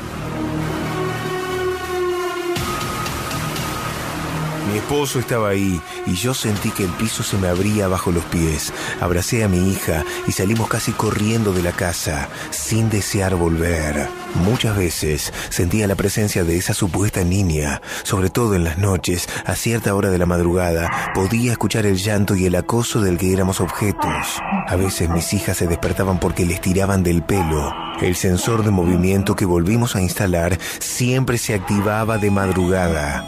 Las voces iban y venían. Hastiada de todo eso, una noche simplemente me paré y salí histérica a decir insultos a diestra y siniestra para que aquello dejara de molestarnos. Los rezos nunca salieron de mis labios porque no los recordaba. Mi esposo no creía en nada. Yo sí. Llamé a un sacerdote en secreto una tarde que él no estaba y me dijo lo que nunca hubiera querido escuchar. Lo que habitaba la casa era una clase de demonio ser oscuro que se presentaba en forma de niña, pero que el reflejo de la maldad que emanaba la hacía ver así, descarnada y violenta a la vista. No era producto de una brujería ni santas muertes, enterradas como se pensaba. Era algo viejo, algo antiguo, que ya estaba ahí desde antes de que construyeran y que no se iría. El sacerdote hizo lo que pudo. Se lo conté a mi esposo, pero no me creyó. Lamentablemente, esa misma madrugada, mi esposo y mis hijas mayores salieron con el auto a una pizzería y fueron asesinados en un hecho que hasta hoy es confuso. Un tiro a cada uno. No les robaron nada. Aún hoy, 20 años después, vivo en esa casa, con el bebé, que hoy ya es adolescente. Seguimos escuchando los llantos y los ruidos. No me voy a ir nunca de esta casa. Voy a morir acá. ¿Y saben por qué? Porque es la única manera de seguir viendo a mis hijas, que también se me aparecen de madrugada en la casa. Siempre estuve invadiendo este lugar, pero ahora mi marido y mis dos hijas mayores que murieron también son los dueños de casa. Estás escuchando La Trasnoche Paranormal La trasnoche paranormal. en el canal de YouTube de Héctor Rosé. La trasnoche paranormal. Ayuda mucho para el algoritmo que des un like a este video, lo compartas y dejes un comentario. Si no lo haces,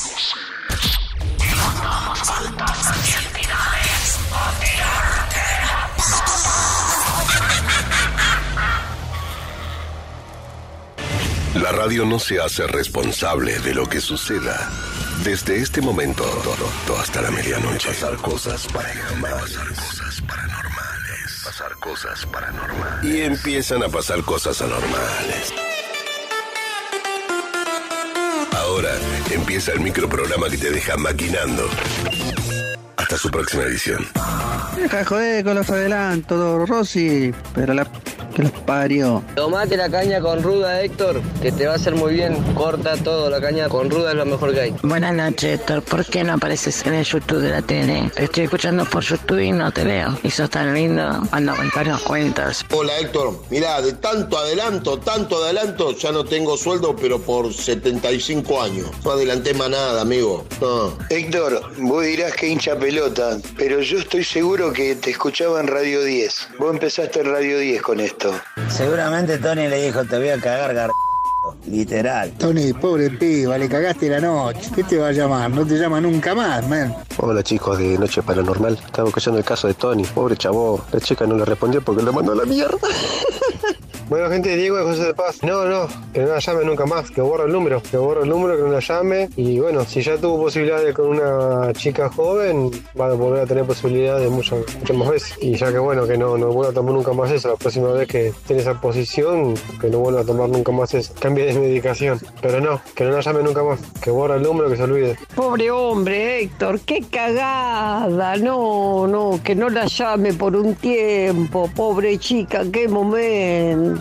Y bueno, chicas hay muchas, que siga llamando, que siga saliendo, pero que no tome esa cosa que le hace mal al estómago.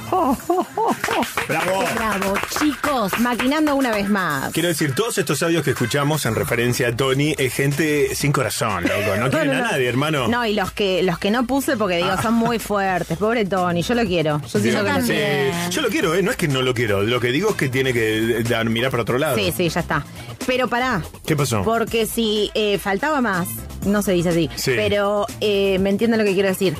Chicos, me llamó la protagonista de la historia de Yo ayer. te lo dije que iba a pasar. Me vuelvo loca. Yo no lo podía creer. Es que el programa ahora se recontra escucha. Esta sección no se puede hacer más porque la gente ya toque. ¿Alguien le contó?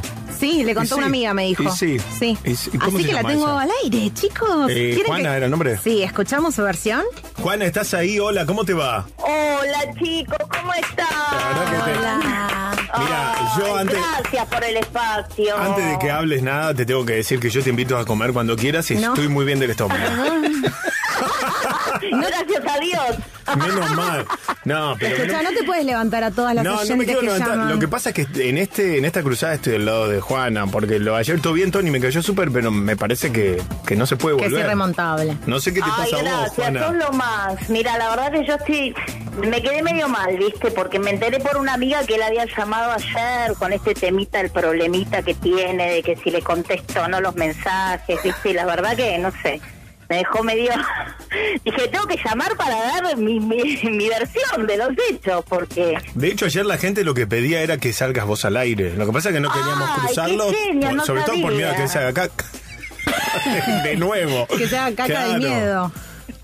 No sé si vos querés contar. Nos lo tomamos en risa porque no queda otra. Sí, porque si no- aparte fue un accidente, chicos, no fue a propósito. Pobre Tony, yo estoy del lado Pero- de Tony. No, que, para, para, no me hagas esto. Ay, Escuchame ay, ay. primero a mí y después decime si realmente razón. es así. Ay, Juana, contame ya.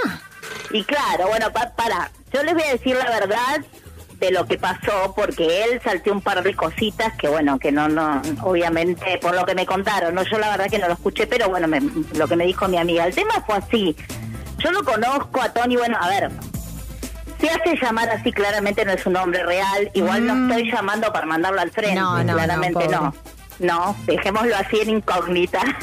Pero la verdad es que, eh, bueno, nada, salimos, obviamente, todo bien, hubo sexo entre nosotros. Bueno, a ver, iba a haber sexo en el medio. Eh, lo que sucedió es que, bueno, obviamente él se hizo caca encima, es una realidad. Uy, Sí, uy, sí, uy, sí, uy. sí. Eso nos Eh, contó. El tema, el problema fue que el tipo saltó cual resorte de la cama, así totalmente desesperado, lo cual lo entiendo en cierta forma, ¿no? Se, se mete en el baño, cierra la puerta. Pará, pará, pará. En el medio del, del coito, vos, Claro. entiendo que uno cuando está teniendo relaciones no está atento a todo. Total. Pero No. él se la vio venir, eh, vos veías que él estaba como contorsionándose de una manera diferente. Él dijo que le dolía, la, que le empezó a hacer ruido la panza en un ¿Con momento. cólicos o algo? ¿O cómo fue el detonante de la situación? No, a ver, yo te soy muy honesta. ¿Te imaginas que yo estaba en la mejor parte? Mm. O sea, yo estaba en otra. Sí, no ¿Querés contar en qué pose? o querés, querés contar algún no detalle? ¿Querés contar algún detalle? ¿Cómo ¿Estabas era? arriba vos, Juana? Bueno, claramente yo estaba arriba, Aplastando, ¿entendés? hizo como una manga de repostería. Re bien, imagínate, como la mejor. Estaba y bueno. al palo. Claro, no no claro. ¿entendés? Entonces yo estaba re disfrutando. En Claro, un momento veo la situación, me corre. Vos lo viste a él que se empezó como a adelgazar y era más flaquito. Estaba No, yo lo, lo veía que, que estaba, viste, medio así como nervioso, medio como transpirando, Mm. ya, viste, pero yo dije, bueno, está re emocionado, está, viste, Claro, como está yo, disfrutando. pero lo vi con cara medio de... Pero bueno, viste que la primera vez es como que uno... Claro. otra persona. Bueno, hasta acá es como nos contó Tony. Sí. ¿Cuál es Ah, tu te versión? contó la verdad hasta ahí, bueno, Esto sí. bárbaro. El tema fue el después. O sea, yo golpeando la puertita, primero me quedo embarrada en el medio de la cama, rodeada de caca. ¿Te dejó las sábanas eh, manchadas? Pero ¿qué te parece? Claro, un olor, encima no lo quiero pensar porque me da náuseas. Encima habían... encima ¿Habían estaba- comido albóndiga Claro, o algo así? todo. No, bueno, horrible. Escucha. Bueno, entonces, ¿qué hago? Digo, bueno, espero que salga. Sale como si nada el tipo hubiese pasado y te Pero por lo menos se dio un, un bidetazo, me imagino, por lo menos. ¿Qué? Se higienizó, por lo menos. Sí, ponele que se bañó. Está Ah. bien. Yo no sé, pues tuve una hora ahí adentro. Claro. Pero la- Pensó un montón en mí. Mientras yo estaba llena de caca, el tipo estaba dentro del baño Ay, sin no. ni siquiera apurarse para bañarse. O darte Sale y una me dice, toalla. "Ca- perdón.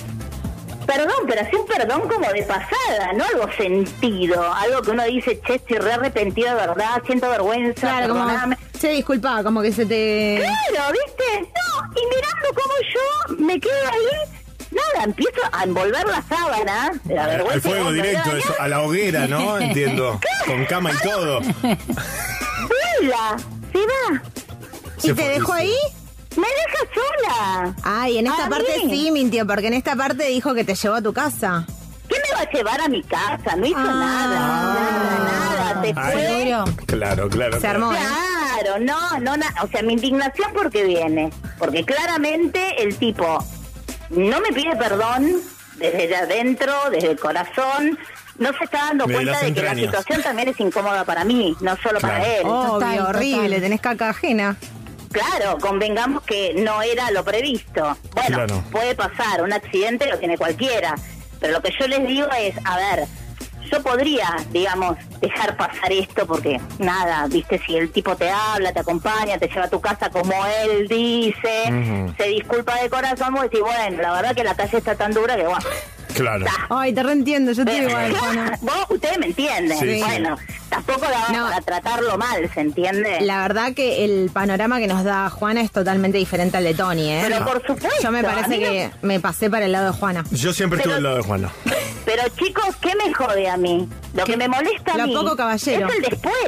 Claro. El después, que lo que es es re poco caballero, re co- poco contenedor, no se involucra con la situación. Claro, claro, claro. Juana, ¿no pensás que eh, lo, mm, viste, lo desbordó la situación y no supo cómo reaccionar? Em, ¿No puede haber una segunda oportunidad más adelante?